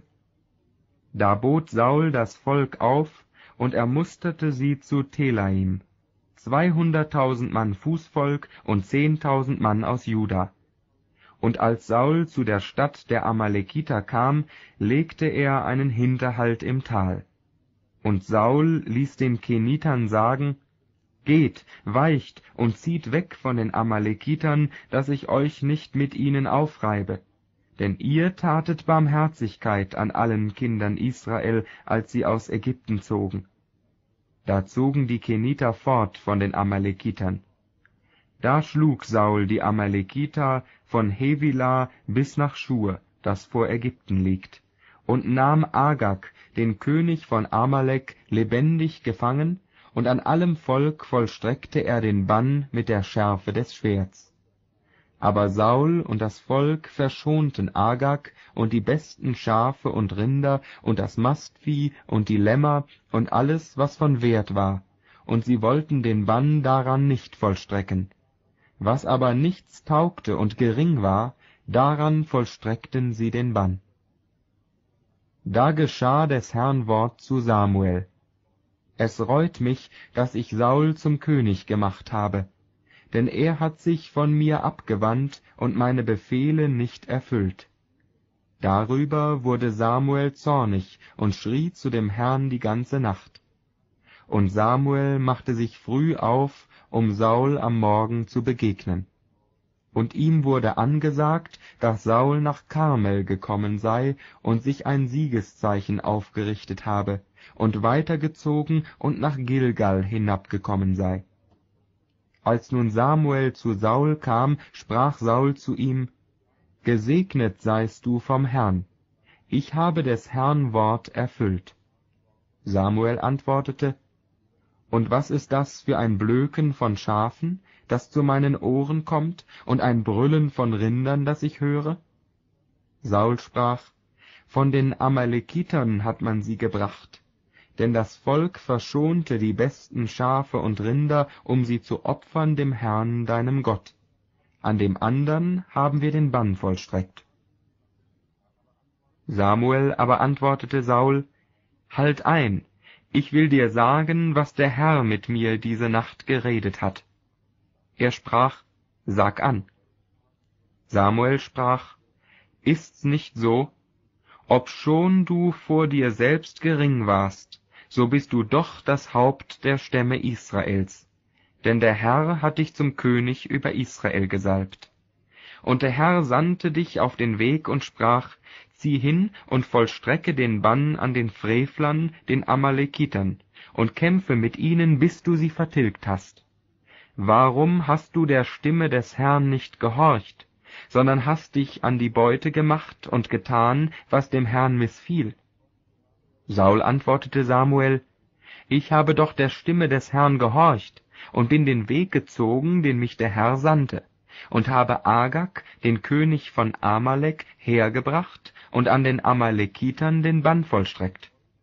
Aber das Volk hat von der Beute genommen Schafe und Rinder, das Beste vom Gebannten, um es dem Herrn, deinem Gott, zu opfern in Gilgal. Samuel aber sprach, Meinst du, dass der Herr gefallen habe am Brandopfer und Schlachtopfer gleichwie am Gehorsam gegen die Stimme des Herrn? Siehe, Gehorsam ist besser als Opfer, und Aufmerken besser als das Fett von Widdern. Denn Ungehorsam ist Sünde wie Zauberei, und Widerstreben ist wie Abgötterei und Götzendienst. Weil du des Herrn Wort verworfen hast, hat er dich auch verworfen, dass du nicht mehr König seist.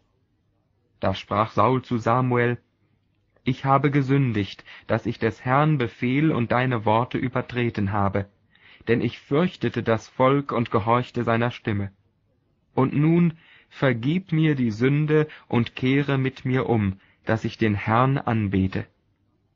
Samuel sprach zu Saul, ich will nicht mit dir umkehren, denn du hast des Herrn Wort verworfen, und der Herr hat dich auch verworfen, dass du nicht mehr König über Israel seist. Und als sich Samuel umwandte, um wegzugehen, ergriff ihn Saul bei einem Zipfel seines Rocks, aber der riss ab. Da sprach Samuel zu ihm, der Herr hat das Königtum Israels heute von dir gerissen und einem andern gegeben, der besser ist als du.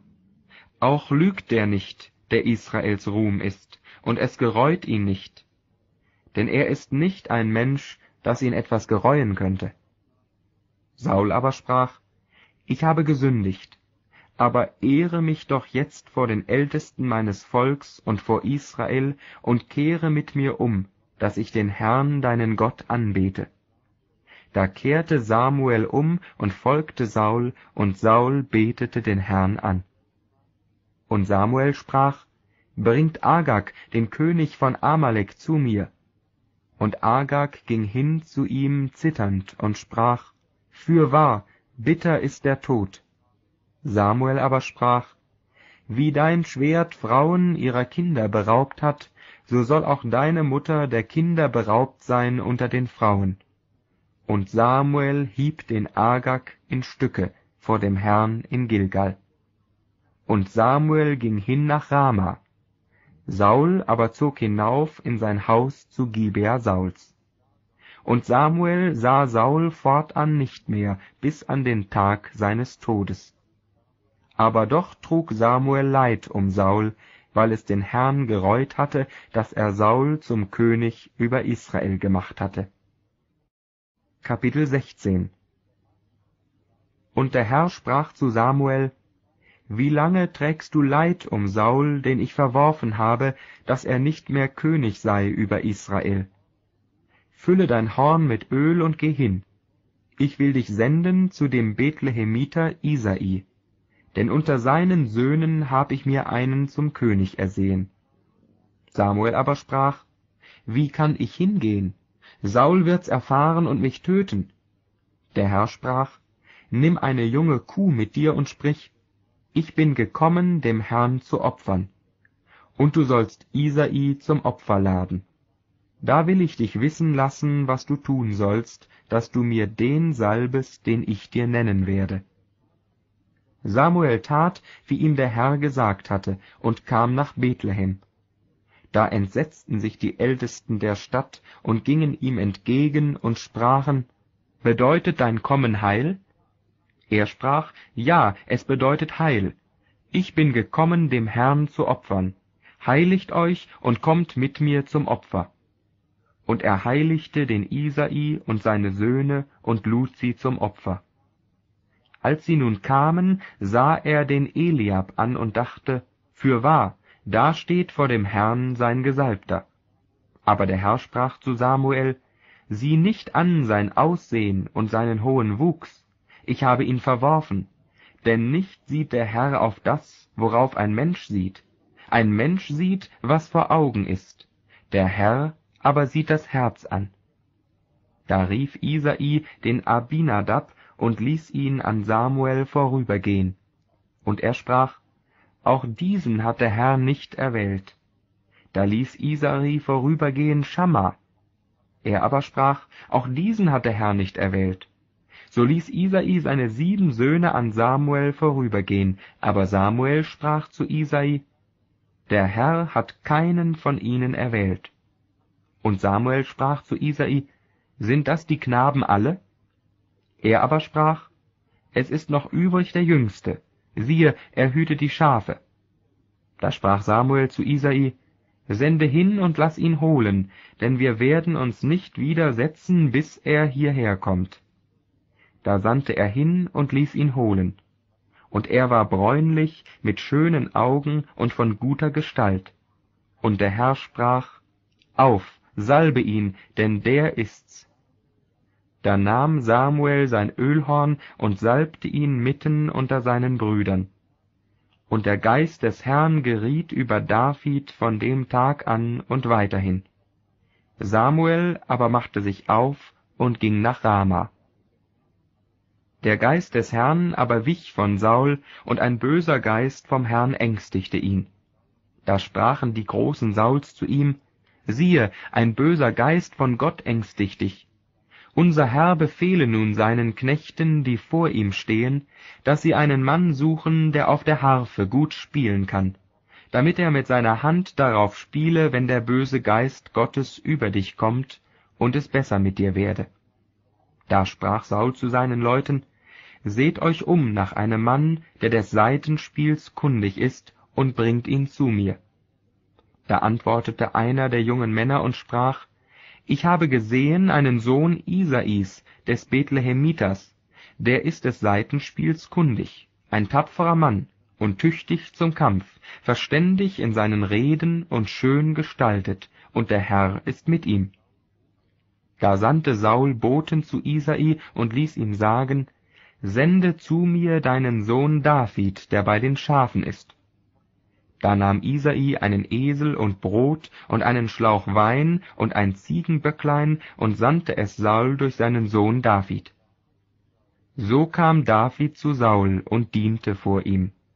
Und Saul gewann ihn sehr lieb, und er wurde sein Waffenträger. Und Saul sandte zu Isai und ließ ihm sagen, Lass David mir dienen, denn er hat Gnade gefunden vor meinen Augen. So oft nun der böse Geist von Gott über Saul kam, nahm David die Harfe und spielte darauf mit seiner Hand. So wurde es Saul leichter, und es ward besser mit ihm, und der böse Geist wich von ihm. Kapitel 17 die Philister sammelten ihre Heere zum Kampf und kamen zusammen bei Sucho in Juda und lagerten sich zwischen Sucho und Aseka bei Ephes Dammim. Und Saul und die Männer Israels kamen zusammen und lagerten sich im Eichgrund und rüsteten sich zum Kampf gegen die Philister. Und die Philister standen auf einem Berge jenseits und die Israeliten auf einem Berge diesseits, so dass das Tal zwischen ihnen war. Da trat aus den Reihen der Philister ein Riese heraus, mit Namen Goliath aus Gath, sechs Ellen und eine Handbreit groß. Der hatte einen ehernen Helm auf seinem Haupt und einen Schuppenpanzer an, und das Gewicht seines Panzers war fünftausend Lot Erz, und hatte eherne Schienen an seinen Beinen und einen ehernen Wurfspieß auf seiner Schulter. Und der Schaft seines Spießes war wie ein Weberbaum, und die eiserne Spitze seines Spießes wog sechshundert Lot, und sein Schildträger ging vor ihm her. Und er stellte sich hin und rief dem Heer Israels zu, Was seid ihr ausgezogen, euch zum Kampf zu rüsten? Bin ich nicht ein Philister und ihr Sauls Knechte? Erwählt einen unter euch, der zu mir herabkommen soll. Vermag er gegen mich zu kämpfen und erschlägt er mich, so wollen wir eure Knechte sein. Vermag ich aber über ihn zu siegen und erschlage ich ihn, so sollt ihr unsere Knechte sein und uns dienen. Und der Philister sprach, Ich habe heute dem Heere Israels Hohn gesprochen, als ich sagte, Gebt mir einen Mann und lasst uns miteinander kämpfen. Als Saul und ganz Israel diese Rede des Philisters hörten, entsetzten sie sich und fürchteten sich sehr. David aber war der Sohn jenes Ephratitas aus Bethlehem in Juda, der Isai hieß. Der hatte acht Söhne und war zu Sauls Zeiten schon zu alt, um unter die Kriegsleute zu gehen. Aber die drei ältesten Söhne Isais waren mit Saul in den Krieg gezogen, und sie hießen Eliab, der Erstgeborene, Abinadab der Zweite und Schamma der Dritte. Und David war der Jüngste die drei Ältesten aber waren Saul gefolgt. Und David ging ab und zu von Saul hinweg nach Bethlehem, um die Schafe seines Vaters zu hüten. Aber der Philister kam heraus früh morgens und abends und stellte sich hin vierzig Tage lang. Isai aber sprach zu seinem Sohn David, Nimm für deine Brüder diesen Scheffel geröstete Körner und diese zehn Brote und bringe sie eilends ins Lager zu deinen Brüdern und diese zehn frischen Käse bringe dem Hauptmann, und sieh nach deinen Brüdern, ob's ihnen gut geht, und bringe auch ein Unterpfand von ihnen mit. Saul und sie und alle Männer Israels sind im Eichgrund und kämpfen gegen die Philister. Da machte sich David früh am Morgen auf und überließ die Schafe einem Hüter, lud auf und ging hin, wie ihm Isai geboten hatte, und kam zum Lager. Das Heer aber war ausgezogen und hatte sich aufgestellt zum Kampf, und sie erhoben das Kriegsgeschrei. und Israel und die Philister hatten sich aufgestellt, Schlachtreihe gegen Schlachtreihe. Da ließ David sein Gepäck, das er trug, bei der Wache des Trosses und lief zu dem Heer, kam hin und fragte seine Brüder, ob's ihnen gut gehe. Und als er noch mit ihnen redete, siehe, da kam herauf der Riese mit Namen Goliath, der Philister von Gath, von dem Heer der Philister, und redete dieselben Worte. Und David hörte es. Und wer von Israel den Mann sah, floh vor ihm und fürchtete sich sehr. Und die Männer von Israel sprachen, Habt ihr den Mann heraufkommen sehen? Er kommt herauf, um Israel Hohn zu sprechen. Wer ihn erschlägt, den will der König sehr reich machen und ihm seine Tochter geben und will ihm seines Vaters Haus freimachen von Lasten in Israel. Da sprach David zu den Männern, die bei ihm standen, Was wird man dem geben, der diesen Philister erschlägt und die Schande von Israel abwendet? Denn wer ist dieser unbeschnittene Philister, der das Heer des lebendigen Gottes verhöhnt? Da sagte ihm das Volk wie vorher, das und das wird man dem geben, der ihn erschlägt. Und als Eliab, sein ältester Bruder, ihn reden hörte mit den Männern, wurde er zornig über David und sprach, Warum bist du hergekommen? Und wem hast du die wenigen Schafe dort in der Wüste überlassen? Ich kenne deine Vermessenheit wohl und deines Herzens Bosheit. Du bist nur gekommen, um dem Kampf zuzusehen. David antwortete, Was hab ich denn getan? Ich habe doch nur gefragt. Und er wandte sich von ihm zu einem andern und sprach, wie er vorher gesagt hatte. Da antwortete ihm das Volk wie das erste Mal. Und als sie die Worte hörten, die David sagte, brachten sie es vor Saul, und er ließ ihn holen. Und David sprach zu Saul, Seinetwegen lasse keiner den Mut sinken. Dein Knecht wird hingehen und mit diesem Philister kämpfen. Saul aber sprach zu David, Du kannst nicht hingehen, um mit diesem Philister zu kämpfen, denn du bist zu jung dazu, dieser aber ist ein Kriegsmann von Jugend auf. David aber sprach zu Saul, Dein Knecht hütete die Schafe seines Vaters, und kam dann ein Löwe oder ein Bär und trug ein Schaf weg von der Herde, so lief ich ihm nach, schlug auf ihn ein und errettete es aus seinem Maul. Wenn er aber auf mich losging, ergriff ich ihn bei seinem Bart und schlug ihn tot.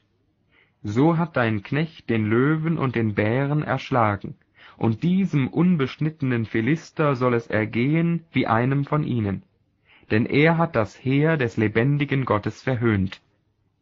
Und David sprach, Der Herr, der mich von dem Löwen und Bären errettet hat, der wird mich auch erretten von diesem Philister. Und Saul sprach zu David, Geh hin, der Herr sei mit dir. Und Saul legte David seine Rüstung an und setzte ihm einen ehernen Helm auf sein Haupt und legte ihm einen Panzer an. Und David gürtete Sauls Schwert über seine Rüstung und mühte sich vergeblich, damit zu gehen, denn er hatte es noch nie versucht.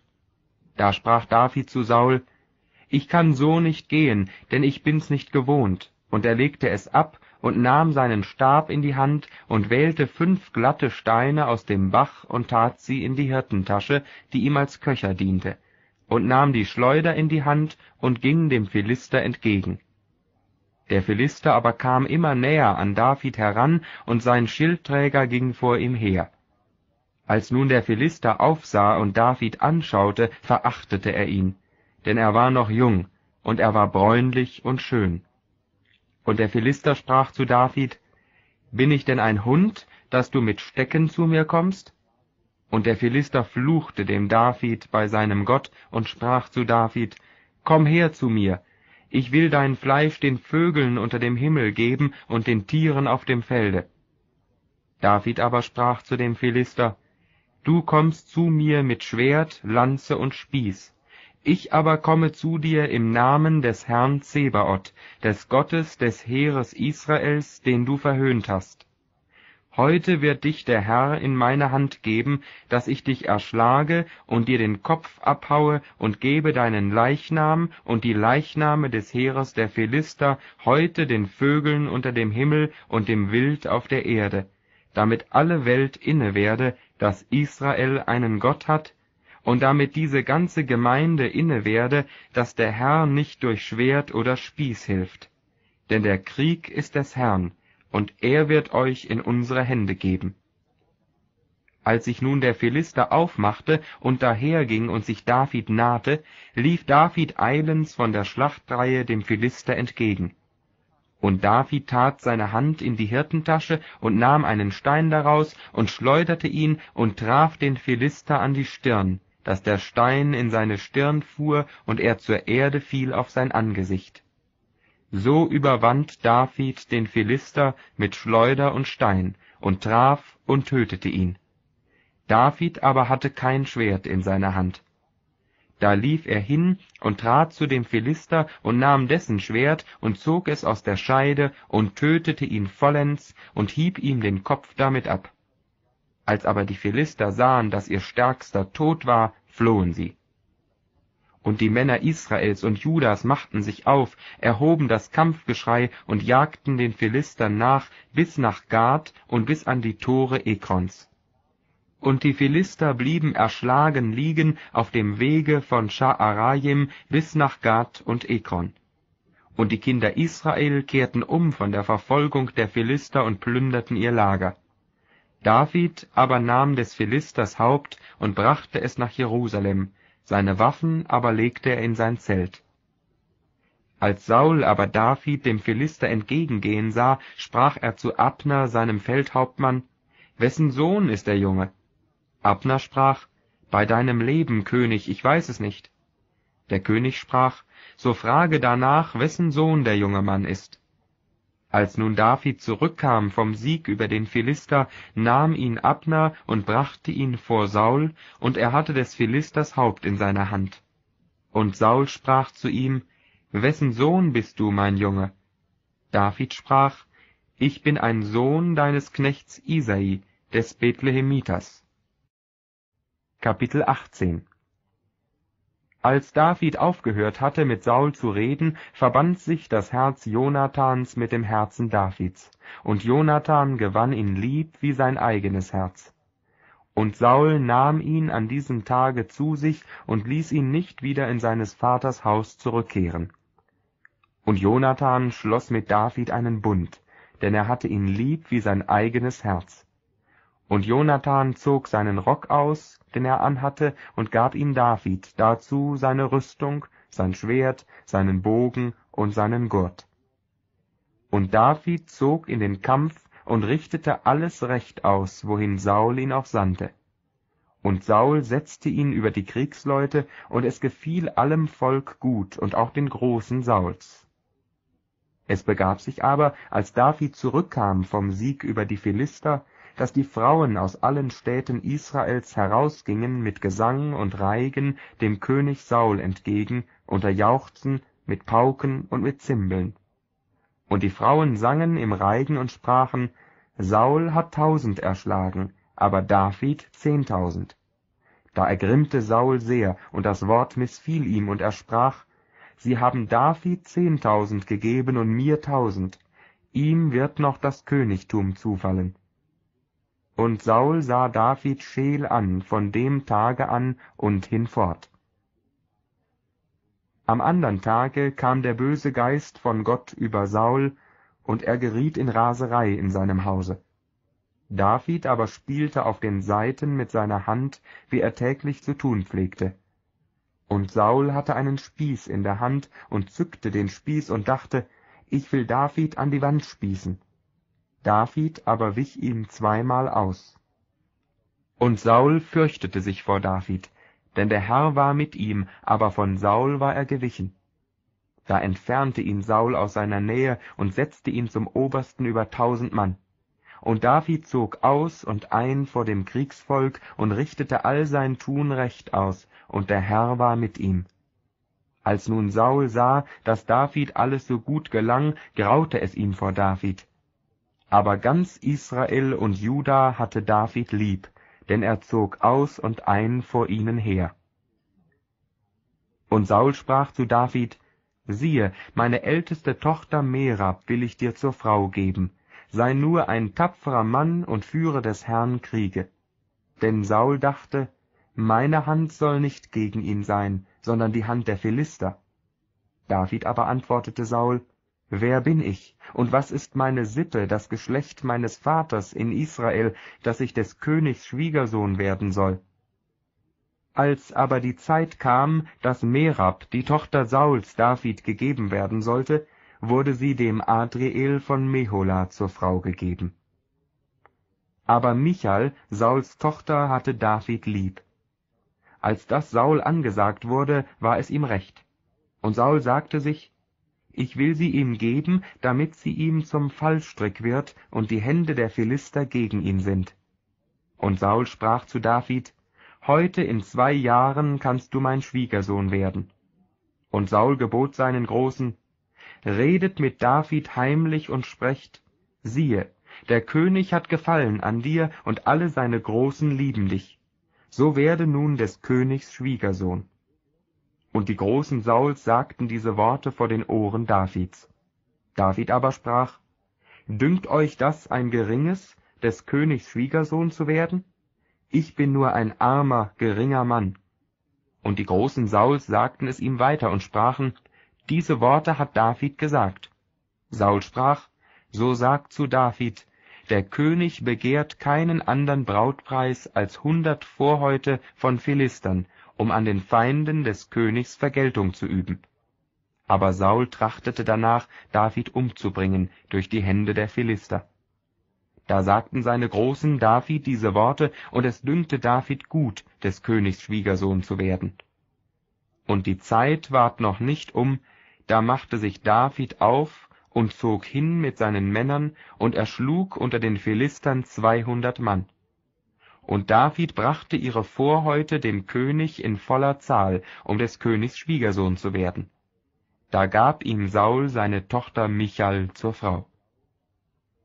Als aber Saul sah und merkte, dass der Herr mit David war und dass seine Tochter Michal ihn lieb hatte, da fürchtete sich Saul noch mehr vor David und wurde sein Feind sein Leben lang.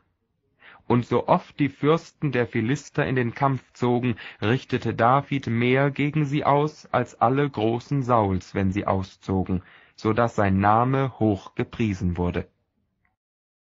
Kapitel 19 Saul aber redete mit seinem Sohn Jonathan und mit allen seinen Großen davon, dass er David töten wolle. Aber Jonathan, Sauls Sohn, hatte David sehr lieb und sagte es ihm weiter und sprach, Mein Vater Saul trachtet danach, dich zu töten. Nun, so hüte dich morgen früh und verstecke dich und bleibe verborgen. Ich aber will hinausgehen und mich neben meinen Vater stellen auf dem Felde, wo du bist, und über dich mit meinem Vater sprechen. Und was ich erfahre, will ich dir kundtun. Und Jonathan redete das Beste von David mit seinem Vater Saul und sprach zu ihm, Es versündige sich der König nicht an seinem Knechte David, denn er hat sich nicht an dir versündigt, und sein Tun ist dir sehr nützlich. Er hat sein Leben gewagt und den Philister erschlagen, und der Herr hat großes Heil für ganz Israel vollbracht. Das hast du gesehen und dich darüber gefreut. Warum willst du dich denn an unschuldigem Blut versündigen, dass du David ohne Grund tötest? Da hörte Saul auf die Stimme Jonathans und schwor, So wahr der Herr lebt, er soll nicht sterben. Da rief Jonathan David und sagte ihm alle diese Worte und brachte ihn zu Saul. Und David diente ihm wie früher.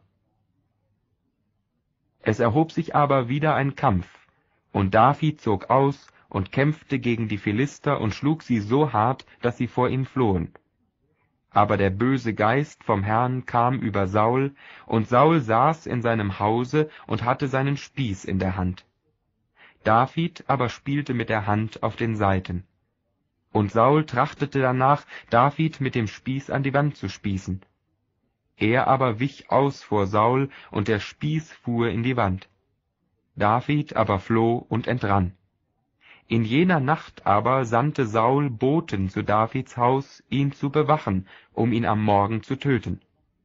Doch Michal, Davids Frau, sagte es ihrem Mann und sprach, wirst du nicht diese Nacht dein Leben retten, so musst du morgen sterben. Da ließ ihn Michal durchs Fenster hinab, dass er floh und entrinnen konnte. Dann nahm Michal das Götzenbild und legte es aufs Bett und ein Geflecht von Ziegenhaaren zu seinen Häupten und deckte ein Kleid darauf. Da sandte Saul Boten, um David zu holen. Sie aber sprach, er ist krank. Saul sandte abermals Boten nach David zu sehen und sprach, bringt ihn her zu mir samt dem Bett, dass er getötet werde. Als nun die Boten kamen, siehe, da lag das Götzenbild im Bett und das Geflecht von Ziegenhaaren zu seinen Häupten. Da sprach Saul zu Michal, Warum hast du mich betrogen und meinen Feind entrinnen lassen? Michal antwortete Saul, Er sagte zu mir, Lass mich gehen, oder ich töte dich. David aber floh und konnte entrinnen und kam zu Samuel nach Rama und sagte ihm alles, was ihm Saul angetan hatte. Und er ging mit Samuel, und sie blieben zu Najot. Und es wurde Saul angesagt, siehe, David ist zu Najot in Rama. Da sandte Saul Boten, um David zu holen. Und sie sahen die Schar der Propheten in Verzückung und Samuel an ihrer Spitze. Da kam der Geist Gottes auf die Boten Sauls, so dass auch sie in Verzückung gerieten. Als das Saul angesagt wurde, sandte er andere Boten, die gerieten auch in Verzückung. Da sandte er die dritten Boten, die gerieten auch in Verzückung. Da ging er selbst nach Rama, und als er zum großen Brunnen kam, der in Sechu ist, fragte er, Wo sind Samuel und David? Da wurde ihm gesagt, siehe, zu Najot in Rama und er machte sich von dort auf nach Najot in Rama.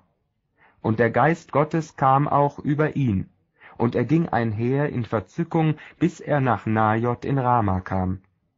Da zog auch er seine Kleider aus und war in Verzückung vor Samuel und fiel hin und lag nackt den ganzen Tag und die ganze Nacht. Daher sagt man, ist Saul auch unter den Propheten? Kapitel 20 David aber floh von Najot in Rama und kam und redete vor Jonathan. Was hab ich getan? Was ist meine Schuld? Was hab ich gesündigt vor deinem Vater, dass er mir nach dem Leben trachtet? Er aber sprach zu ihm, Das sei ferne. Du sollst nicht sterben. Siehe, mein Vater tut nichts, weder Großes noch Kleines, ohne es mir kundzutun. Warum sollte denn mein Vater dies vor mir verbergen? Es ist nicht so. Da antwortete David und schwor, Dein Vater weiß sehr wohl, dass ich Gnade vor deinen Augen gefunden habe. Darum dachte er, Jonathan soll das nicht wissen, es könnte ihn bekümmern. Wahrlich, so wahr der Herr lebt und so wahr du lebst, es ist nur ein Schritt zwischen mir und dem Tode. Jonathan sprach zu David, Ich will für dich tun, was dein Herz begehrt. David sprach zu Jonathan, siehe, morgen ist Neumond, da sollte ich mit dem König zu Tisch sitzen. Aber lass mich, dass ich mich auf dem Felde verberge bis zum Abend des dritten Tages. Wird dein Vater nach mir fragen, so sprich, David bat mich, dass er nach Bethlehem seiner Stadt gehen dürfe, denn dort ist das jährliche Opferfest für das ganze Geschlecht. Wird er sagen, es ist recht, so steht es gut um deinen Knecht. Wird er aber ergrimmen, so wirst du merken, dass Böses bei ihm beschlossen ist. So tu nun Barmherzigkeit an deinem Knecht, denn du hast mit deinem Knecht einen Bund im Herrn geschlossen. Liegt aber eine Schuld auf mir, so töte du mich. Warum willst du mich zu deinem Vater bringen? Jonathan sprach, Das sei ferne von dir, dass ich es dir nicht sagen sollte, wenn ich merke, dass bei meinem Vater beschlossen ist, Böses über dich zu bringen. David aber sprach zu Jonathan, Wer wird mir's sagen, wenn dir dein Vater etwas Hartes antwortet? Jonathan sprach zu David, Komm, lass uns hinaus aufs Feld gehen. Und sie gingen beide hinaus aufs Feld. Und Jonathan sprach zu David, Bei dem Herrn, dem Gott Israels, wenn ich meinen Vater ausforsche morgen und am dritten Tage, dass es gut steht mit David, und wenn ich dann nicht hinsende zu dir und es dir nicht kundtue, so tue der Herr dem Jonathan dies und das. Wenn aber mein Vater Böses gegen dich sinnt, so will ich es dir auch kundtun und dich ziehen lassen, dass du mit Frieden weggehen kannst. und der Herr sei mit dir, wie er mit meinem Vater gewesen ist. Du aber wollest die Barmherzigkeit des Herrn an mir tun, solange ich lebe, und wenn ich sterbe, so nimm die Barmherzigkeit niemals fort von meinem Hause. Und wenn der Herr die Feinde Davids ausrotten wird, Mann für Mann aus dem Lande, so möge der Name Jonathans nicht ausgelöscht werden neben dem Hause Davids. Vielmehr möge der Herr Rache nehmen nur an den Feinden Davids. Und Jonathan ließ nun auch David schwören bei seiner Liebe zu ihm, denn er hatte ihn so lieb wie sein eigenes Herz. Und Jonathan sprach zu ihm, Morgen ist Neumond, da wird man dich vermissen, wenn dein Platz leer bleibt. Am dritten Tage wirst du erst recht vermisst werden. Du aber komm an den Ort, wo du dich verborgen hattest am Tage jener Tat, und setze dich dort neben den Steinhaufen so will ich nach seiner Seite drei Pfeile schießen, als ob ich nach einem Ziele schösse. Und ich will den Knaben hinschicken, geh, suche die Pfeile. Werde ich zum Knaben sagen, siehe, die Pfeile liegen herwärts von dir, hole sie, so komm. Denn es steht gut um dich und hat keine Gefahr, so wahr der Herr lebt. Sage ich aber zum Knaben, siehe, die Pfeile liegen hinwärts von dir, so geh hin, denn der Herr befiehlt dir fortzugehen. Für das Wort aber, das du und ich miteinander geredet haben, siehe, dafür steht der Herr zwischen mir und dir ewiglich. David verbarg sich auf dem Felde. Und als der Neumond kam, setzte sich der König zu Tisch, um zu essen. Und der König saß an seinem Platz, wie er gewohnt war, an der Wand, und Jonathan saß gegenüber. Abner aber setzte sich an die Seite Sauls. Davids Platz aber war leer. Und Saul sagte an diesem Tage nichts, denn er dachte, es ist ihm etwas widerfahren, so dass er nicht rein ist. Am andern Tage aber nach dem Neumond, als Davids Platz leer blieb, sprach Saul zu seinem Sohn Jonathan, Warum ist der Sohn Isais nicht zu Tisch gekommen, weder gestern noch heute? Jonathan antwortete Saul, er bat mich sehr, dass er nach Bethlehem gehen dürfe und sprach, Lass mich hingehen, denn unser Geschlecht hat zu opfern in der Stadt, und mein Bruder hat mir's selbst geboten. Hab ich nun Gnade vor deinen Augen gefunden, so lass mich hingehen und meine Brüder sehen. Darum ist er nicht zum Tisch des Königs gekommen. Da entbrannte der Zorn Sauls über Jonathan, und er sprach zu ihm, Du Sohn einer ehrlosen Mutter, ich weiß sehr wohl, dass du den Sohn Isais erkoren hast, dir und deiner Mutter, die dich geboren hat, zur Schande. Denn solange der Sohn Isais lebt auf Erden, wirst du und auch dein Königtum nicht bestehen. So sende nun hin und lass ihn herholen zu mir, denn er ist ein Kind des Todes. Jonathan antwortete seinem Vater Saul und sprach zu ihm, Warum soll er sterben? Was hat er getan? Da zückte Saul den Spieß nach ihm, um ihn zu durchbohren. Da merkte Jonathan, dass es bei seinem Vater fest beschlossen war, David zu töten, und stand vom Tisch auf in grimmigem Zorn und aß am zweiten Tage nach dem Neumond nichts, denn er war bekümmert um David und dass ihm sein Vater solchen Schimpf antat. Am Morgen ging Jonathan hinaus aufs Feld, wohin er David bestellt hatte, und ein Knabe mit ihm. Und er sprach zu dem Knaben, Lauf und suche mir die Pfeile, die ich schieße. Und als der Knabe lief, schoß er einen Pfeil über ihn hin. Und als der Knabe an den Ort kam, wohin Jonathan den Pfeil geschossen hatte, rief ihm Jonathan nach und sprach, Der Pfeil liegt hinwärts von dir. Und Jonathan rief abermals dem Knaben nach, Rasch, eile und halte dich nicht auf. Da las der Knabe Jonathans den Pfeil auf und brachte ihn zu seinem Herrn. Der Knabe aber merkte nichts, nur Jonathan und David wussten um die Sache. Da gab Jonathan seine Waffen dem Knaben, den er bei sich hatte, und sprach zu ihm, Geh und trage sie in die Stadt. Und als der Knabe weggegangen war, stand David auf hinter dem Steinhaufen und fiel auf sein Antlitz zur Erde und beugte sich dreimal nieder und sie küßten einander und weinten miteinander, David aber am allermeisten. Und Jonathan sprach zu David, Geh hin mit Frieden, Für das, was wir beide geschworen haben im Namen des Herrn, dafür stehe der Herr zwischen mir und dir, zwischen meinen Nachkommen und deinen Nachkommen in Ewigkeit. Kapitel 21 Und David machte sich auf und ging seines Weges. Jonathan aber ging in die Stadt. Und als David nach Nob kam zum Priester Ahimelech, entsetzte sich Ahimelech, als er David entgegenging und sprach zu ihm, Warum kommst du allein, und ist kein Mann mit dir? David sprach zu dem Priester Ahimelech, Der König hat mir eine Sache befohlen und sprach zu mir, Niemand darf auch nur das geringste von der Sache wissen, in der ich dich gesandt habe und die ich dir befohlen habe. Darum hab ich meine Leute an den und den Ort beschieden. Hast du nun etwas bei der Hand, etwa fünf Brote oder was sonst vorhanden ist, das gib mir in meine Hand. Der Priester antwortete David, Ich habe kein gewöhnliches Brot bei der Hand, sondern nur heiliges Brot. Nur müssen die Leute sich der Frauen enthalten haben. David antwortete dem Priester, Sicher, Frauen waren uns schon etliche Tage verwehrt. Als ich auszog, war der Leib der Leute nicht unrein, obgleich es nur um ein gewöhnliches Vorhaben ging. Um wie viel mehr werden sie heute am Leibe rein sein?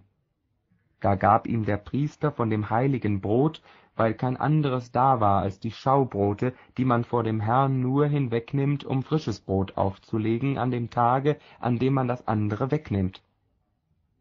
Es war aber am selben Tage ein Mann von den Großen Sauls dort eingeschlossen vor dem Herrn mit Namen Doeg, ein Edomiter, der über die Hirten Sauls gesetzt war. Und David sprach zu Ahimelech, Ist nicht hier bei dir ein Spieß oder ein Schwert? Ich habe mein Schwert und meine Waffen nicht mit mir genommen, denn die Sache des Königs war eilig. Der Priester sprach, das Schwert des Philisters Goliath, den du im Eichgrund erschlagen hast, das ist hier, in einen Mantel gewickelt, hinter dem Ephod. Willst du das, so nimm es, denn es ist kein anderes hier als dies. David sprach, Seinesgleichen gibt es nicht, gib mir's. Und David machte sich auf und floh an jenem Tage vor Saul und kam zu Achis, dem König von Gad. Aber die Großen des Achis sprachen zu ihm, Ist das nicht David, der König des Landes, von dem sie im Reigen sangen, Saul schlug tausend, David aber zehntausend? Und David nahm sich die Worte zu Herzen und fürchtete sich sehr vor Achis, dem König von Gad. Und er stellte sich wahnsinnig vor ihren Augen und tobte unter ihren Händen und rannte gegen die Pforte des Tores und ließ seinen Speichel in seinen Bart fließen. Da sprach Achis zu seinen Großen, Ihr seht ja, dass der Mann wahnsinnig ist. Warum habt ihr ihn zu mir gebracht? Hab ich zu wenig Wahnsinnige, dass ihr diesen herbrachtet, bei mir zu toben? Sollte der in mein Haus kommen? Kapitel 22 David ging von da hinweg und rettete sich in die Höhle Adulam. Als das seine Brüder hörten und das ganze Haus seines Vaters, kamen sie zu ihm dahin. Und es sammelten sich bei ihm allerlei Männer, die in Not und Schulden und verbitterten Herzens waren, und er wurde ihr Oberster. Und es waren bei ihm etwa vierhundert Mann. Und David ging von da nach Mitzpe ins Land der Moabiter und sprach zum König von Moab, Lass meinen Vater und meine Mutter bei euch bleiben, bis ich erfahre, was Gott mit mir tun wird. Und er brachte sie vor den König von Moab, und sie blieben bei ihm, solange David auf der Bergfeste war. Aber der Prophet Gad sprach zu David, Bleib nicht auf der Bergfeste, sondern geh hin ins Land Juda. Da ging David weg und kam nach Jaaheret. Und es kam vor Saul, dass David und die Männer, die bei ihm waren, von sich reden machten. Und Saul saß zu Gibea unter dem Tamariskenbaum auf der Höhe, den Spieß in der Hand, und alle seine Großen standen um ihn. Da sprach Saul zu seinen Großen, die um ihn standen, Hört, ihr Benjaminiter, wird der Sohn Isais euch allen auch Äcker und Weinberge geben und euch alle zu Obersten über tausend und über hundert machen, dass ihr euch alle verschworen habt gegen mich und dass niemand da ist, der es mir zu Ohren brächte, dass mein Sohn sich mit dem Sohn Isais verbunden hat? Ist niemand unter euch, der sich um mich gegrämt und der es mir zu Ohren gebracht hätte, dass mein Sohn meinen Knecht gegen mich aufgereizt hat, dass er mir nachstellt, wie es jetzt am Tage ist?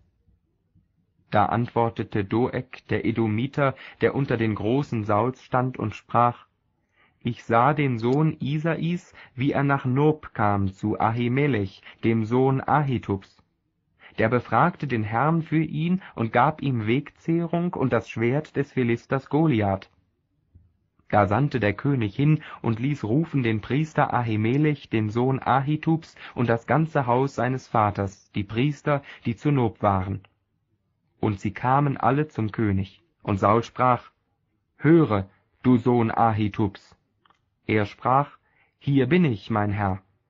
Und Saul sprach zu ihm, Warum habt ihr euch verschworen gegen mich, du und der Sohn Isais, dass du ihm Brot und ein Schwert gegeben und Gott für ihn befragt hast, damit er sich gegen mich empöre und mir nachstelle, wie es jetzt am Tage ist? Ahimelech antwortete dem König und sprach, Wer ist unter allen deinen Knechten so treu wie David, dazu des Königs Schwiegersohn und der Oberste deiner Leibwache und geehrt in deinem Hause? Hab ich denn heute erst angefangen, Gott für ihn zu befragen? Das sei ferne von mir. Der König lege solches seinem Knecht nicht zur Last, noch meines Vaters ganzem Hause. Denn dein Knecht hat von alledem nichts gewusst, weder Kleines noch Großes. Aber der König sprach, Ahimelech, du musst des Todes sterben, du und deines Vaters ganzes Haus. Und der König sprach zu seiner Leibwache, die um ihn stand, Tretet heran und tötet die Priester des Herrn, denn ihre Hand ist mit David, und obwohl sie wussten, dass er auf der Flucht war, haben sie mir's nicht zu Ohren gebracht. Aber die Männer des Königs wollten ihre Hände nicht an die Priester des Herrn legen, sie zu erschlagen. Da sprach der König zu Doeg, Tritt du heran und erschlage die Priester. Doeg, der Edomiter, trat heran und erschlug die Priester, dass an diesem Tage starben fünfundachtzig Männer, die den leinenen Priesterschurz trugen. Auch Nob, die Stadt der Priester, schlug er mit der Schärfe des Schwerts, Mann und Frau, Kinder und Säuglinge, Rinder und Esel und Schafe, mit der Schärfe des Schwerts. Es entrann aber ein Sohn Ahimelechs, des Sohnes Ahitubs, der hieß Abjatar, und floh zu David und verkündete ihm, dass Saul die Priester des Herrn getötet habe. David aber sprach zu Abjatar, Ich wusste es schon an dem Tage, als der Edomiter Doeg dort war, dass er Saul verraten werde. Ich bin schuldig am Leben aller aus deines Vaters Haus. Bleibe bei mir und fürchte dich nicht denn der, der mir nach dem Leben trachtet, der trachtet auch dir nach dem Leben. Du bist bei mir in Sicherheit. Kapitel 23 Und es wurde David angesagt, siehe, die Philister kämpfen gegen Kegila und berauben die Tennen. Da befragte David den Herrn und sprach, Soll ich hinziehen und diese Philister schlagen? Und der Herr sprach zu David, Zieh hin, Du wirst die Philister schlagen und Kegela erretten. Aber die Männer bei David sprachen zu ihm, Siehe, wir fürchten uns schon hier in Juda und wollen nun hinziehen nach Kegila gegen das Heer der Philister? Da befragte David wieder den Herrn, und der Herr antwortete ihm, Auf, zieh hin nach Kegila, denn ich will die Philister in deine Hände geben. So zog David mit seinen Männern nach Kegila und kämpfte gegen die Philister und trieb ihnen ihr Vieh weg und schlug sie hart. So errettete David die Leute von Kegila. Als aber Abjatar, der Sohn Ahimelechs, zu David geflohen war, zog er mit herab nach Kegila und brachte den Ephod mit. Da wurde Saul angesagt, dass David nach Kegila gekommen sei, und Saul dachte, Gott hat ihn in meine Hände gegeben, denn er ist eingeschlossen, nun er in eine Stadt mit Toren und Riegeln gekommen ist. Und Saul ließ das ganze Kriegsvolk aufrufen, zum Kampf hinabzuziehen nach Kegila, damit sie David und seine Männer belagerten. Als aber David merkte, dass Saul Böses gegen ihn im Sinne hatte, sprach er zu dem Priester Abjatar: Bringe den Ephod her. Und David sprach: Herr, Gott Israels, dein Knecht hat gehört, dass Saul danach trachtet, nach Kegila zu ziehen, um die Stadt zu verderben um meinetwillen. Werden mich die Bürger von Kegila übergeben in seine Hände? Und wird Saul herabkommen, wie dein Knecht gehört hat? Das verkünde, Herr Gott Israels, deinem Knecht. Und der Herr sprach: Er wird herabkommen. David fragte weiter: Werden die Bürger von Kegila mich und meine Männer übergeben in die Hände Sauls? Der Herr sprach: Ja. Da machte sich David auf samt seinen Männern, etwa sechshundert, und sie zogen fort von Kegila und streiften da und dort umher. Als nun Saul angesagt wurde, dass David aus Kegila entronnen war, stand er ab von seinem Zuge. David aber blieb in der Wüste auf den Bergfesten, und zwar blieb er im Gebirge, in der Wüste Sif. Und Saul suchte ihn die ganze Zeit, aber Gott gab ihn nicht in seine Hände. Und als David sah, dass Saul ausgezogen war, um ihm nach dem Leben zu trachten, blieb er in der Wüste Sif in Horesha. Da machte sich Jonathan, Sauls Sohn, auf und ging hin zu David nach Horesha und stärkte sein Vertrauen auf Gott und sprach zu ihm, Fürchte dich nicht. Sauls, meines Vaters, Hand wird dich nicht erreichen, und du wirst König werden über Israel, und ich werde der Zweite nach dir sein. Auch mein Vater weiß das sehr wohl. Und sie schlossen beide einen Bund miteinander vor dem Herrn. David blieb in Horesha, aber Jonathan zog wieder heim. Aber die Siphiter zogen zu Saul hinauf nach Gibea und sprachen, David hält sich bei uns verborgen auf den Bergfesten in Horesha, in Gibea Hachila, das südlich liegt von Jeschimon. Ist's nun, König, deines Herzens Verlangen, hinabzukommen? So komm, wir wollen ihn in des Königs Hände übergeben. Da sprach Saul, Gesegnet seid ihr vom Herrn, dass ihr euch meiner erbarmt habt. So geht nun und gebt weiter Acht, dass ihr wisst und seht, an welchem Ort sein Fuß weilt und wer ihn dort gesehen hat. Denn man hat mir gesagt, dass er sehr listig ist. Beobachtet und erkundet jeden versteckten Ort, wo er sich verkriecht, und kommt wieder zu mir, wenn ihr's gewiss seid, so will ich mit euch ziehen. Ist er im Lande, so will ich ihn aufspüren unter allen Tausendschaften Judas. Da machten sie sich auf und gingen vor Saul her nach Sif. David aber und seine Männer waren in der Wüste Maon, in der Steppe südlich von Jeschimon. Als nun Saul hinzog mit seinen Männern David zu suchen, wurde es David angesagt.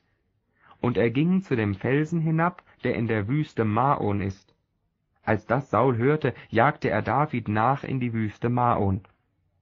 Und Saul ging auf der einen Seite eines Berges, David mit seinen Männern auf der andern Seite des Berges.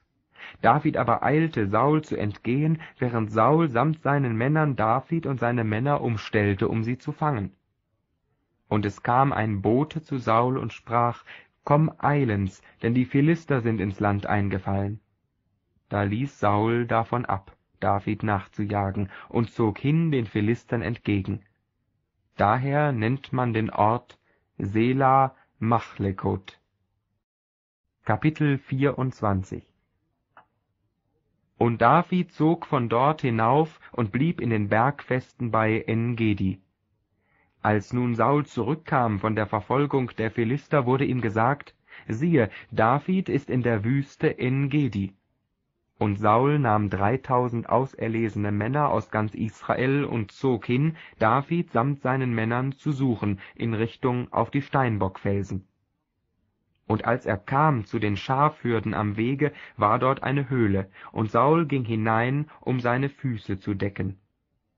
David aber und seine Männer saßen hinten in der Höhle. Da sprachen die Männer Davids zu ihm, Siehe, das ist der Tag, von dem der Herr zu dir gesagt hat, siehe, ich will deinen Feind in deine Hände geben, damit du mit ihm tust, was dir gefällt. Und David stand auf und schnitt leise einen Zipfel vom Rock Sauls. Aber danach schlug ihm sein Herz, dass er den Zipfel vom Rock Sauls abgeschnitten hatte, und er sprach zu seinen Männern, Das lasse der Herr ferne von mir sein, dass ich das tun sollte und meine Hand lege an meinen Herrn, den Gesalbten des Herrn. Denn er ist der Gesalbte des Herrn. Und David wies seine Männer von sich mit harten Worten und ließ sie sich nicht an Saul vergreifen. Als aber Saul sich aufmachte aus der Höhle und seines Weges ging, machte sich auch David auf ihm nach und ging aus der Höhle und rief Saul nach und sprach, Mein Herr und König. Saul sah sich um. Und David neigte sein Antlitz zur Erde und fiel nieder. Und David sprach zu Saul, Warum hörst du auf das Geschwätz der Menschen, die da sagen, David sucht dein Unglück? Siehe, heute haben deine Augen gesehen, dass sich der Herr in meine Hand gegeben hat in der Höhle, und man hat mir gesagt, dass ich dich töten sollte. Aber ich habe dich verschont, denn ich dachte, ich will meine Hand nicht an meinen Herrn legen, denn er ist der Gesalbte des Herrn. Mein Vater, sieh doch hier den Zipfel deines Rocks in meiner Hand dass ich den Zipfel von deinem Rock schnitt und dich nicht tötete, daran erkenne und sieh, dass meine Hände rein sind von Bosheit und Empörung. Ich habe mich nicht an dir versündigt, aber du jagst mir nach, um mir das Leben zu nehmen. Der Herr wird Richter sein zwischen mir und dir und mich an dir rächen, aber meine Hand soll dich nicht anrühren.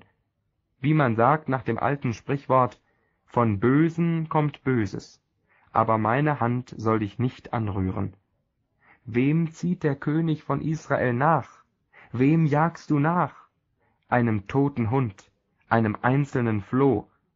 Der Herr sei Richter und richte zwischen mir und dir und sehe darein und führe meine Sache, dass er mir Recht verschaffe wider dich. Als nun David diese Worte zu Saul geredet hatte, sprach Saul, Ist das nicht deine Stimme, mein Sohn David? Und Saul erhob seine Stimme und weinte und sprach zu David, Du bist gerechter als ich. Du hast mir Gutes erwiesen, ich aber habe dir Böses erwiesen. Und du hast mir heute gezeigt, wie du Gutes an mir getan hast, als mich der Herr in deine Hände gegeben hatte und du mich doch nicht getötet hast. Wo ist jemand, der seinen Feind findet und lässt ihn mit Frieden seinen Weg gehen? Der Herr vergelte dir Gutes für das, was du heute an mir getan hast. Nun siehe, ich weiß, dass du König werden wirst und das Königtum über Israel durch deine Hand Bestand haben wird. So schwöre mir nun bei dem Herrn, dass du mein Geschlecht nach mir nicht ausrotten und meinen Namen nicht austilgen wirst aus meines Vaters Hause. Und David schwor es Saul. Da zog Saul heim. David aber mit seinen Männern zog hinauf auf die Bergfeste. Kapitel 25 Und Samuel starb, und ganz Israel versammelte sich und hielt ihm die Totenklage. Und sie begruben ihn in seinem Hause zu Rama. David aber machte sich auf und zog hinab in die Wüste Maon und es war ein Mann in Maon, der hatte seine Tätigkeit in Karmel. Und der Mann hatte sehr großes Vermögen und besaß dreitausend Schafe und tausend Ziegen. Und es begab sich, dass er eben seine Schafe schor in Karmel. Der Mann hieß Nabal, seine Frau aber hieß Abigail. Und sie war eine Frau von Verstand und schön von Angesicht, der Mann aber war roh und boshaft in seinem Tun und war einer von Kaleb. Als nun David in der Wüste hörte, dass Nabal seine Schafe schor, sandte er zehn seiner Leute aus und sprach zu ihnen, Geht hinauf nach Karmel, und wenn ihr zu Nabal kommt, so grüßt ihn freundlich in meinem Namen und sprecht zu meinem Bruder, Friede sei mit dir und deinem Hause und mit allem, was du hast. Ich habe gehört, dass du Schafschuhe hast. Nun, deine Hirten sind mit uns zusammen gewesen, wir haben ihnen nichts zu Leide getan, und sie haben nichts vermißt, solange sie in Karmel gewesen sind. Frage deine Leute danach, die werden's dir sagen. Und lass meine Leute Gnade finden vor deinen Augen, denn wir sind an einem Festtag gekommen. Gib deinen Knechten und deinem Sohn David, was du zur Hand hast. Und als die Leute Davids hingekommen waren und in Davids Namen alle diese Worte mit Nabal geredet hatten und ruhig warteten, antwortete Nabal den Knechten Davids, Wer ist David? Und wer ist der Sohn Isais? Es gibt jetzt viele Knechte, die ihren Herren davongelaufen sind. Sollte ich mein Brot und mein Wasser nehmen und mein Fleisch, das ich für meine Scherer geschlachtet habe, und Leuten geben, von denen ich nicht weiß, wo sie her sind? Da wandten sich die Leute Davids um und gingen ihres Weges. Und als sie zu ihm zurückkamen, sagten sie ihm das alles. Da sprach David zu seinen Männern, Gürte sich ein jeder sein Schwert um. Und jeder gürtete sich sein Schwert um, und auch David gürtete sich sein Schwert um, und etwa vierhundert Mann zogen ihm nach, aber zweihundert blieben bei dem Tross.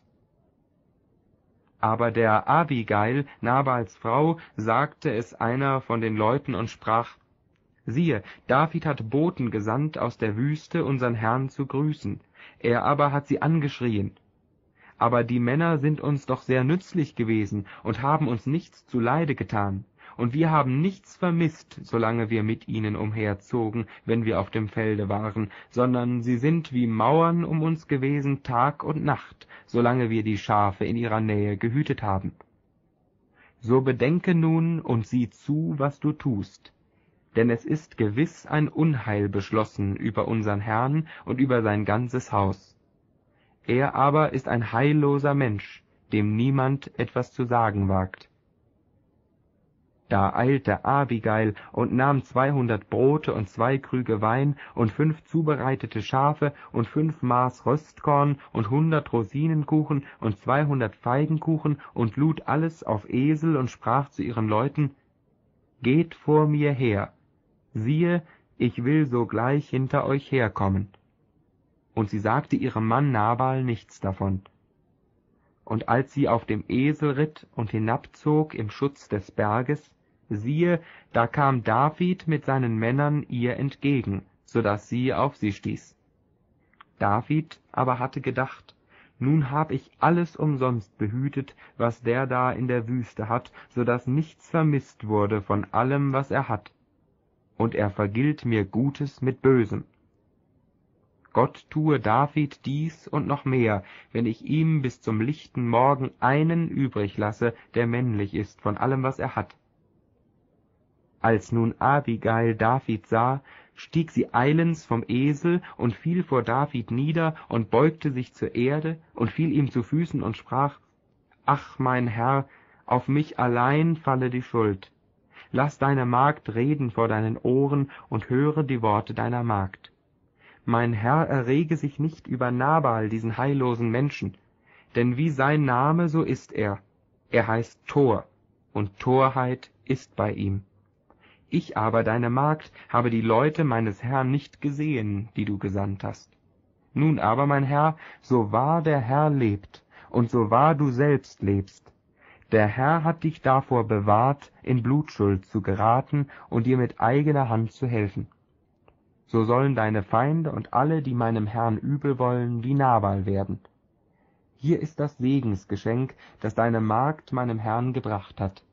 Das soll den Leuten gegeben werden, die meinem Herrn folgen. Vergib deiner Magd die Anmaßung.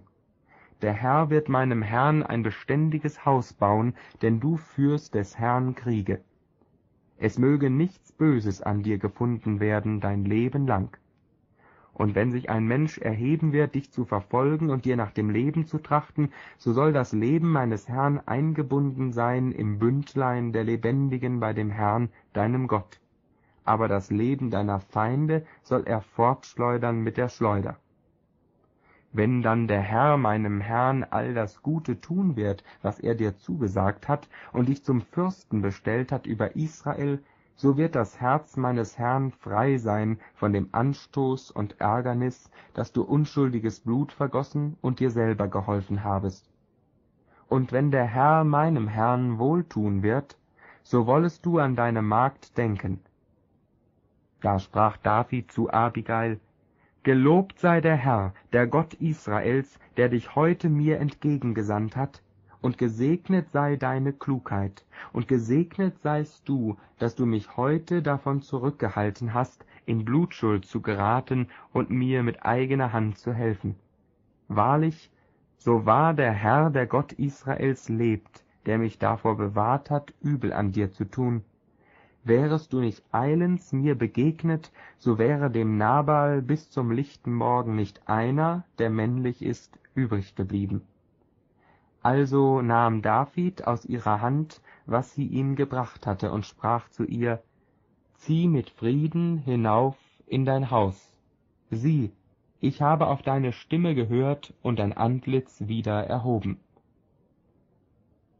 Als aber Abigail zu Nabal kam, siehe, da hatte er ein Mahl zubereitet in seinem Hause wie eines Königs Mahl, und sein Herz war guter Dinge, und er war sehr betrunken.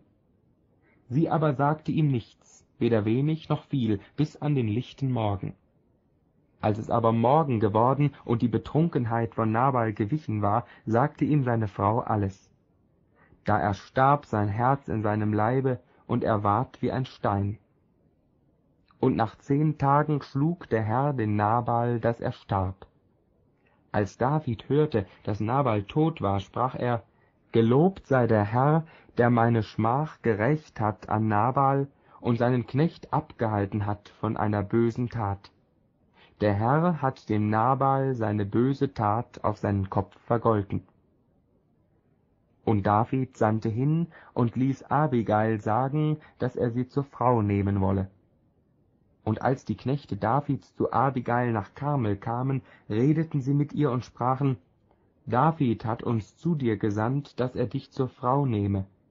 Sie stand auf und fiel nieder auf ihr Angesicht zur Erde und sprach, siehe, deine Magd ist bereit, den Knechten meines Herrn zu dienen und ihre Füße zu waschen. Und Abigail machte sich eilends auf und setzte sich auf einen Esel, und ihre fünf Mägde gingen hinter ihr her und sie zog den Boten Davids nach und wurde seine Frau. Auch hatte David Ahinoam von Jesrael zur Frau genommen. Sie wurden beide seine Frauen. Saul aber hatte seine Tochter Michal, Davids Frau, Palti, dem Sohn des Laisch aus Gallim, gegeben. Kapitel 26 die Leute von Sif aber kamen zu Saul nach Gibea und sprachen, David hält sich verborgen auf dem Hügel Hachila, der Jeschimon gegenüber liegt. Da machte sich Saul auf und zog hinab zur Wüste Sif und mit ihm dreitausend auserlesene Männer aus Israel, um David in der Wüste Sif zu suchen. Und Saul lagerte sich auf dem Hügel Hachila, der Jeschimon gegenüber liegt, am Wege. David aber hielt sich in der Wüste auf. Und als er merkte, dass Saul ihm nachkam in die Wüste, sandte er Kundschafter aus und erfuhr, dass Saul gewiss gekommen sei. Und David machte sich auf und kam an den Ort, wo Saul sein Lager hielt, und sah die Stätte, wo Saul lag mit seinem Feldhauptmann Abner, dem Sohn Neers. Saul aber lag im innersten Lagerring und das Kriegsvolk um ihn her. Da hob David an und sprach zu Ahimelech dem Hethiter und zu Abisai dem Sohn der Zeruja dem Bruder Joabs: Wer will mit mir hinab zu Saul ins Lager? Abisai sprach: Ich will mit dir hinab. So kam David mit Abisai in der Nacht zum Lager.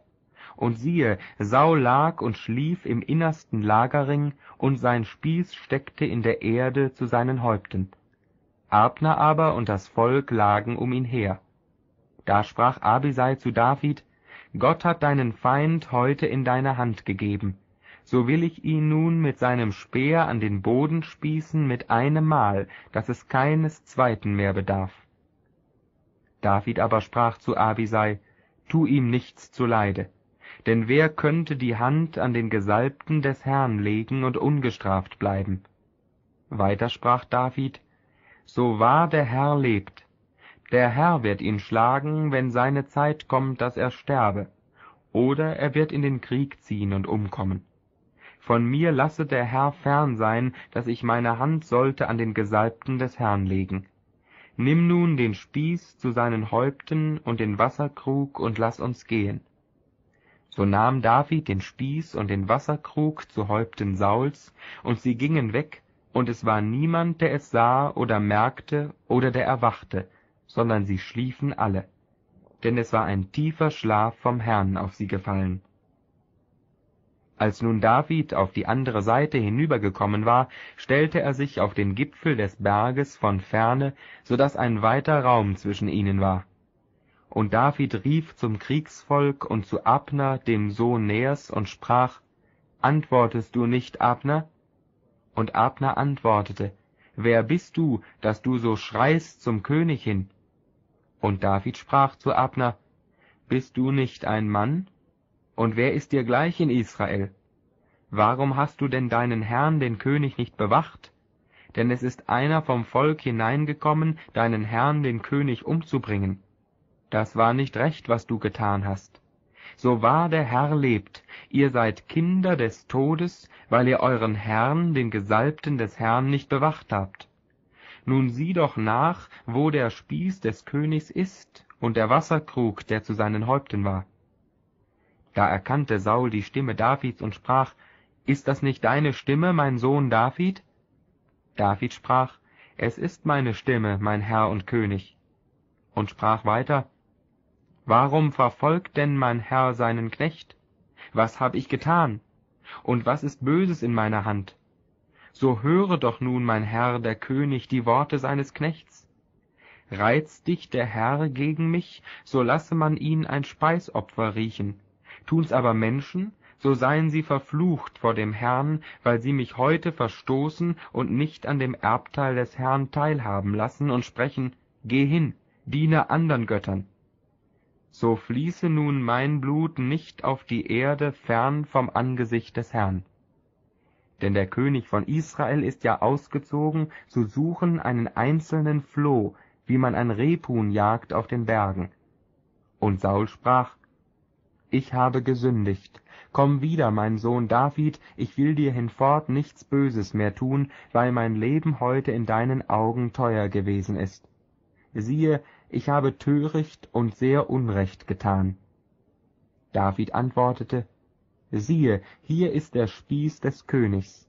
Es komme einer von den jungen Leuten herüber und hole ihn.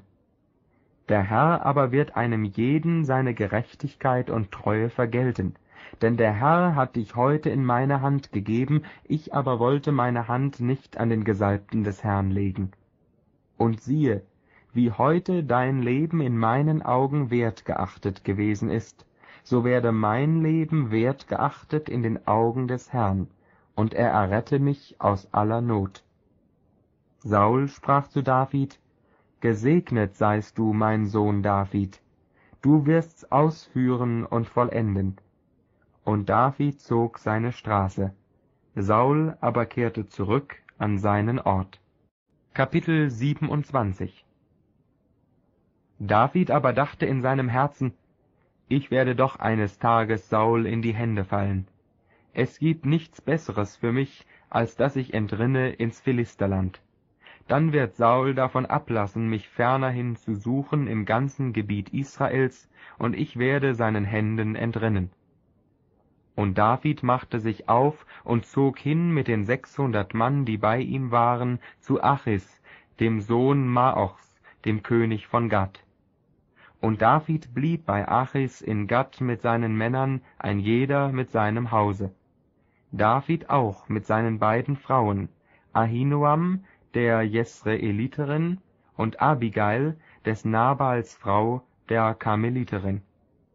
Und als Saul angesagt wurde, dass David nach Gad geflohen sei, suchte er ihn nicht mehr.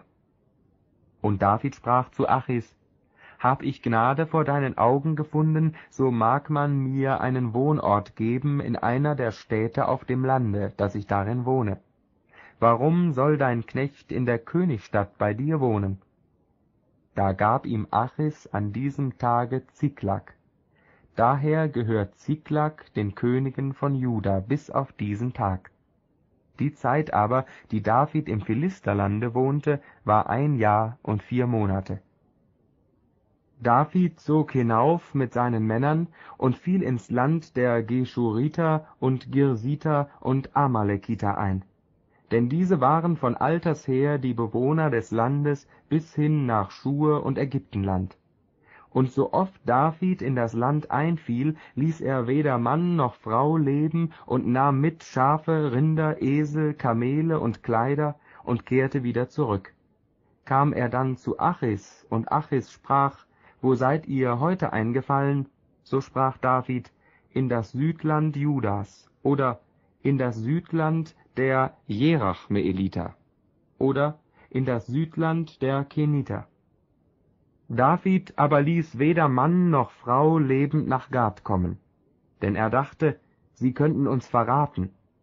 So tat David, und das war seine Art, solange er im Philisterland wohnte.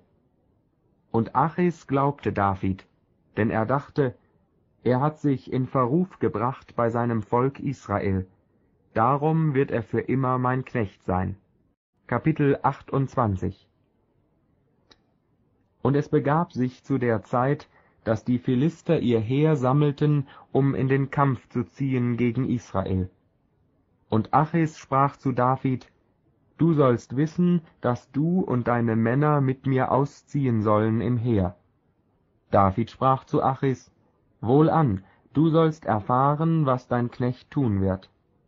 Achis sprach zu David, So will ich dich zu meinem Leibwächter setzen für die ganze Zeit. Samuel aber war gestorben, und ganz Israel hatte ihm die Totenklage gehalten und ihn begraben in seiner Stadt Rama. Und Saul hatte die Geisterbeschwörer und Zeichendeuter aus dem Lande vertrieben. Als nun die Philister sich versammelten und herankamen und sich lagerten bei Sunem, versammelte Saul auch ganz Israel, und sie lagerten sich auf dem Gebirge Gilboa. Als aber Saul das Heer der Philister sah, fürchtete er sich, und sein Herz verzagte sehr. Und er befragte den Herrn, aber der Herr antwortete ihm nicht, weder durch Träume, noch durch das Los, Licht, noch durch Propheten. Da sprach Saul zu seinen Getreuen, Sucht mir ein Weib, das Tote beschwören kann, dass ich zu ihr gehe und sie befrage. Seine Männer sprachen zu ihm, Siehe, in Endor ist ein Weib, das kann Tote beschwören.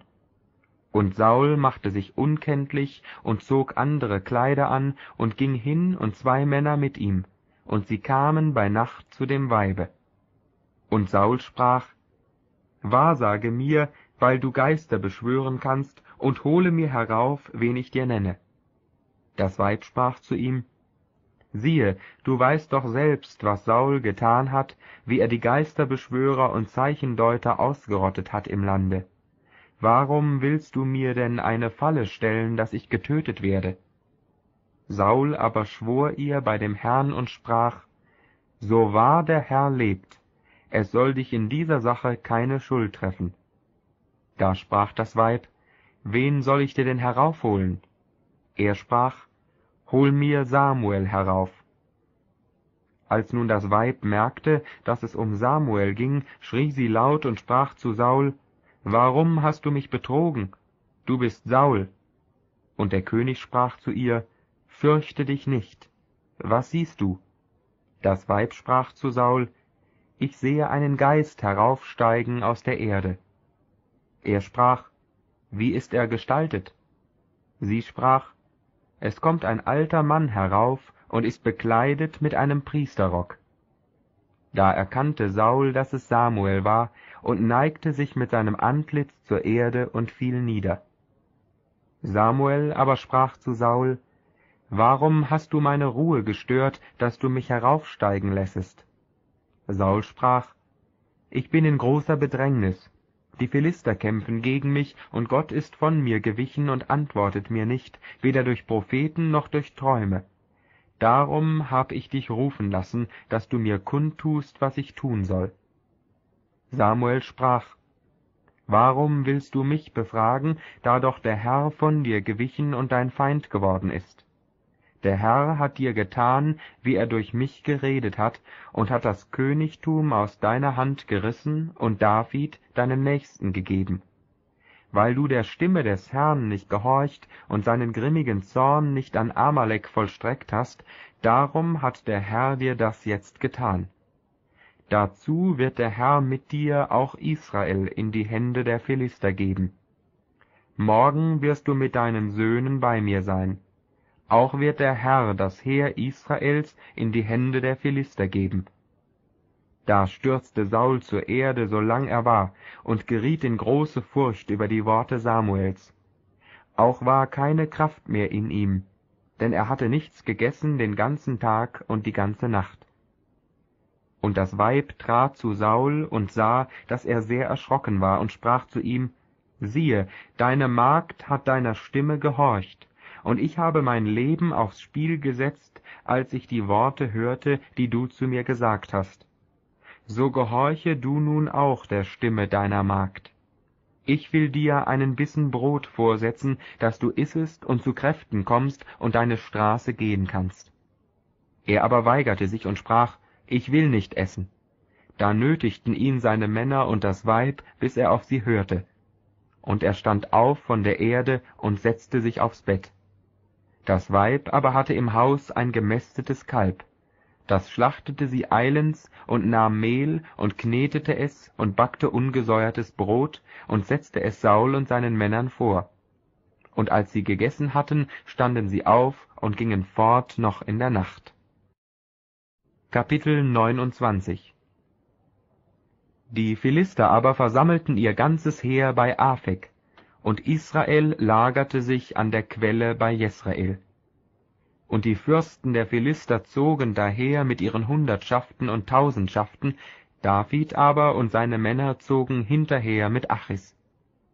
Da sprachen die Obersten der Philister, Was sollen diese Hebräer? Achis sprach zu ihnen, Das ist David, der Knecht Sauls, des Königs von Israel, der nun bei mir gewesen ist, Jahr und Tag. Ich habe nichts an ihm gefunden seit der Zeit, da er abgefallen ist, bis heute. Aber die Obersten der Philister wurden zornig auf ihn und sprachen zu ihm, Schick den Mann zurück. Er soll an den Ort zurückkehren, den du ihm angewiesen hast, damit er nicht mit uns hinziehe zum Kampf und unser Widersacher werde im Kampf. Denn womit könnte er seinem Herrn einen größeren Gefallen tun, als mit den Köpfen unserer Männer? Ist das denn nicht derselbe David, von dem sie sangen im Reigen, Saul hat tausend geschlagen, David aber zehntausend?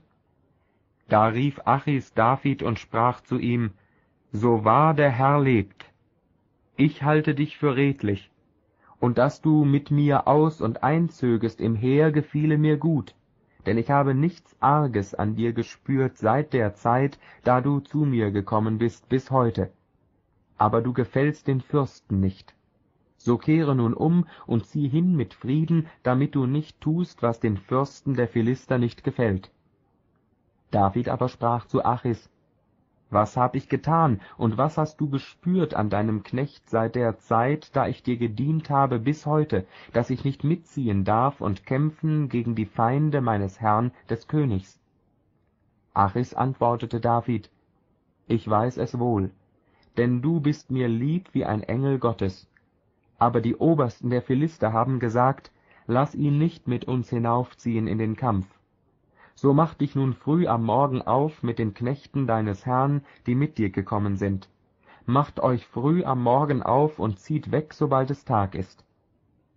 Da machten sich David und seine Männer früh am Morgen auf, um wegzuziehen und ins Philisterland zurückzukehren die Philister aber zogen hinauf nach Jesrael.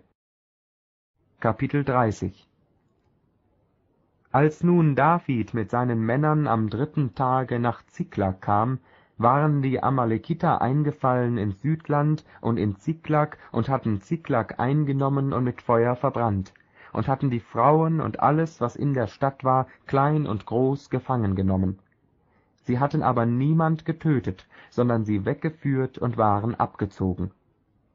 Als nun David mit seinen Männern zur Stadt kam und sah, dass sie mit Feuer verbrannt war und ihre Frauen, Söhne und Töchter gefangen waren, erhoben David und die Leute, die bei ihm waren, ihre Stimme und weinten, bis sie nicht mehr weinen konnten. Auch die beiden Frauen Davids waren gefangen genommen worden, Ahinoam, die Jesreeliterin, und Abigail, Nabals des Karmeliters Frau. Und David geriet in große Bedrängnis, weil die Leute ihn steinigen wollten, denn die Seele des ganzen Volks war erbittert, ein jeder wegen seiner Söhne und Töchter. David aber stärkte sich in dem Herrn seinem Gott und sprach zu dem Priester Abjatar, dem Sohn Ahimelechs, Bringe mir den Ephod her. Und als Abjatar den Ephod zu David gebracht hatte, befragte David den Herrn und sprach, Soll ich dieser Schar nachjagen, und werde ich sie einholen? Er sprach, Jage ihr nach, du wirst sie einholen und die Gefangenen befreien. Da zog David hin mit den sechshundert Mann, die bei ihm waren. Und als sie an den Bach Besor kamen, blieben etliche zurück. David aber und vierhundert Mann jagten der Schar nach. Die zweihundert Mann aber, die zurückblieben, waren zu müde, um über den Bach Besor zu gehen. Und sie fanden einen Ägypter auf dem Felde. Den führten sie zu David und gaben ihm Brot zu essen und Wasser zu trinken, und gaben ihm ein Stück Feigenkuchen und zwei Rosinenkuchen. Und als er gegessen hatte, kam er wieder zu sich. Denn er hatte in drei Tagen und drei Nächten nichts gegessen und kein Wasser getrunken. David sprach zu ihm, Zu wem gehörst du, und woher bist du? Er sprach, Ich bin ein junger Ägypter, eines Amalekiters Knecht, und mein Herr hat mich zurückgelassen, denn ich wurde vor drei Tagen krank. Wir sind eingefallen in das Südland der Kreter und in Juda und in das Südland Kalebs und haben Ziklag mit Feuer verbrannt. David sprach zu ihm, Willst du mich hinführen zu dieser Schar? Er sprach, Schwöre mir bei Gott, dass du mich nicht töten noch in meines Herrn Hand übergeben wirst, so will ich dich hinführen zu dieser Schar. Und er führte ihn hin. Und siehe, sie hatten sich ausgebreitet über das ganze Land, aßen und tranken und feierten ein Fest wegen all der großen Beute, die sie mitgenommen hatten aus dem Philisterland und aus Juda. Und David schlug sie vom Morgen bis zum Abend des nächsten Tages, so dass keiner von ihnen entrann, außer vierhundert jungen Männern. Die stiegen auf die Kamele und flohen. So gewann David alles zurück, was die Amalekiter genommen hatten, auch seine beiden Frauen, und es fehlte nichts, weder klein noch groß, weder Söhne noch Töchter noch Beute noch alles, was sie sich genommen hatten. David brachte es alles zurück und nahm die Schafe und Rinder, und sie trieben das Vieh vor David her und sprachen, das ist Davids Beute. Und als David zu den zweihundert Männern kam, die zu müde gewesen waren, um David zu folgen und am Bach Besor geblieben waren, gingen sie David entgegen und den Leuten, die mit ihm waren. Und David trat zu ihnen und grüßte sie freundlich. Da sprachen böse und heillose Leute unter den Männern, die mit David gezogen waren, weil sie nicht mit uns gezogen sind, soll man ihnen nichts geben von der Beute, die wir zurückgewonnen haben sondern jeder nehme nur seine Frau und seine Kinder mit sich und gehe seines Weges. Da sprach David, Ihr sollt nicht so tun, meine Brüder, mit dem, was uns der Herr gegeben hat. Er hat uns behütet und diese Schar, die über uns gekommen war, in unsere Hände gegeben. Wer sollte in dieser Sache auf euch hören? Wie der Anteil derjenigen, die in den Kampf gezogen sind, so soll auch der Anteil derjenigen sein, die beim Tross geblieben sind. Jeder soll den gleichen Anteil haben. Und so blieb es weiterhin von diesem Tag an. Und er machte es zu Satzung und Recht für Israel bis auf diesen Tag. Und als David nach Ziklag kam, sandte er von der Beute den Ältesten in Juda, seinen Freunden, und ließ sagen, da habt ihr ein Segensgeschenk aus der Beute der Feinde des Herrn, nämlich denen zu Bethul, denen zu Ramoth im Südland, denen zu Jattir, denen zu Arara, denen zu Siphamoth, denen zu Eshtemoa, denen zu Karmel, denen in den Städten der Jerachmeeliter, denen in den Städten der Keniter, denen zu Horma, denen zu Bor Aschan, denen zu Attach, denen zu Hebron und allen Orten, wo David mit seinen Männern aus und eingegangen war. Kapitel 31 Die Philister aber kämpften gegen Israel, und die Männer Israels flohen vor den Philistern und blieben erschlagen liegen auf dem Gebirge Gilboa. Und die Philister waren hinter Saul und seinen Söhnen her und erschlugen Jonathan und Abinadab und Melchischua, die Söhne Sauls. Und der Kampf tobte heftig um Saul, und die Bogenschützen fanden ihn, und er wurde schwer verwundet von den Schützen. Da sprach Saul zu seinem Waffenträger, Zieh dein Schwert und erstich mich damit, dass nicht diese Unbeschnittenen kommen und mich erstechen und treiben ihren Spott mit mir aber sein Waffenträger wollte nicht, denn er fürchtete sich sehr. Da nahm Saul das Schwert und stürzte sich hinein. Als nun sein Waffenträger sah, dass Saul tot war, stürzte auch er sich in sein Schwert und starb mit ihm. So starben Saul und seine drei Söhne und sein Waffenträger und alle seine Männer miteinander an diesem Tag. Als aber die Männer Israels, die jenseits der Ebene und gegen den Jordan hin wohnten, sahen, dass die Männer Israels geflohen und Saul und seine Söhne tot waren, verließen sie die Städte und flohen auch. Da kamen die Philister und wohnten darin. Am andern Tage kamen die Philister, um die Erschlagenen auszuplündern, und fanden Saul und seine drei Söhne, wie sie gefallen auf dem Gebirge Gilboa lagen da hieben sie ihm sein Haupt ab und nahmen ihm seine Rüstung ab und sandten sie im Philisterland umher, um es zu verkünden im Hause ihrer Götzen und unter dem Volk.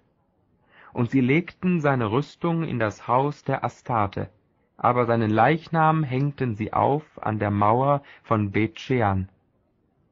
Als die Leute von Jabesch in Gilead hörten, was die Philister Saul angetan hatten, machten sich alle streitbaren Männer auf und gingen die ganze Nacht hindurch und nahmen die Leichname Sauls und seiner Söhne von der Mauer zu Bethschean und brachten sie nach Jabesch und salbten sie dort. Und sie nahmen ihre Gebeine und begruben sie unter dem Tamariskenbaum bei Jabesch und fasteten sieben Tage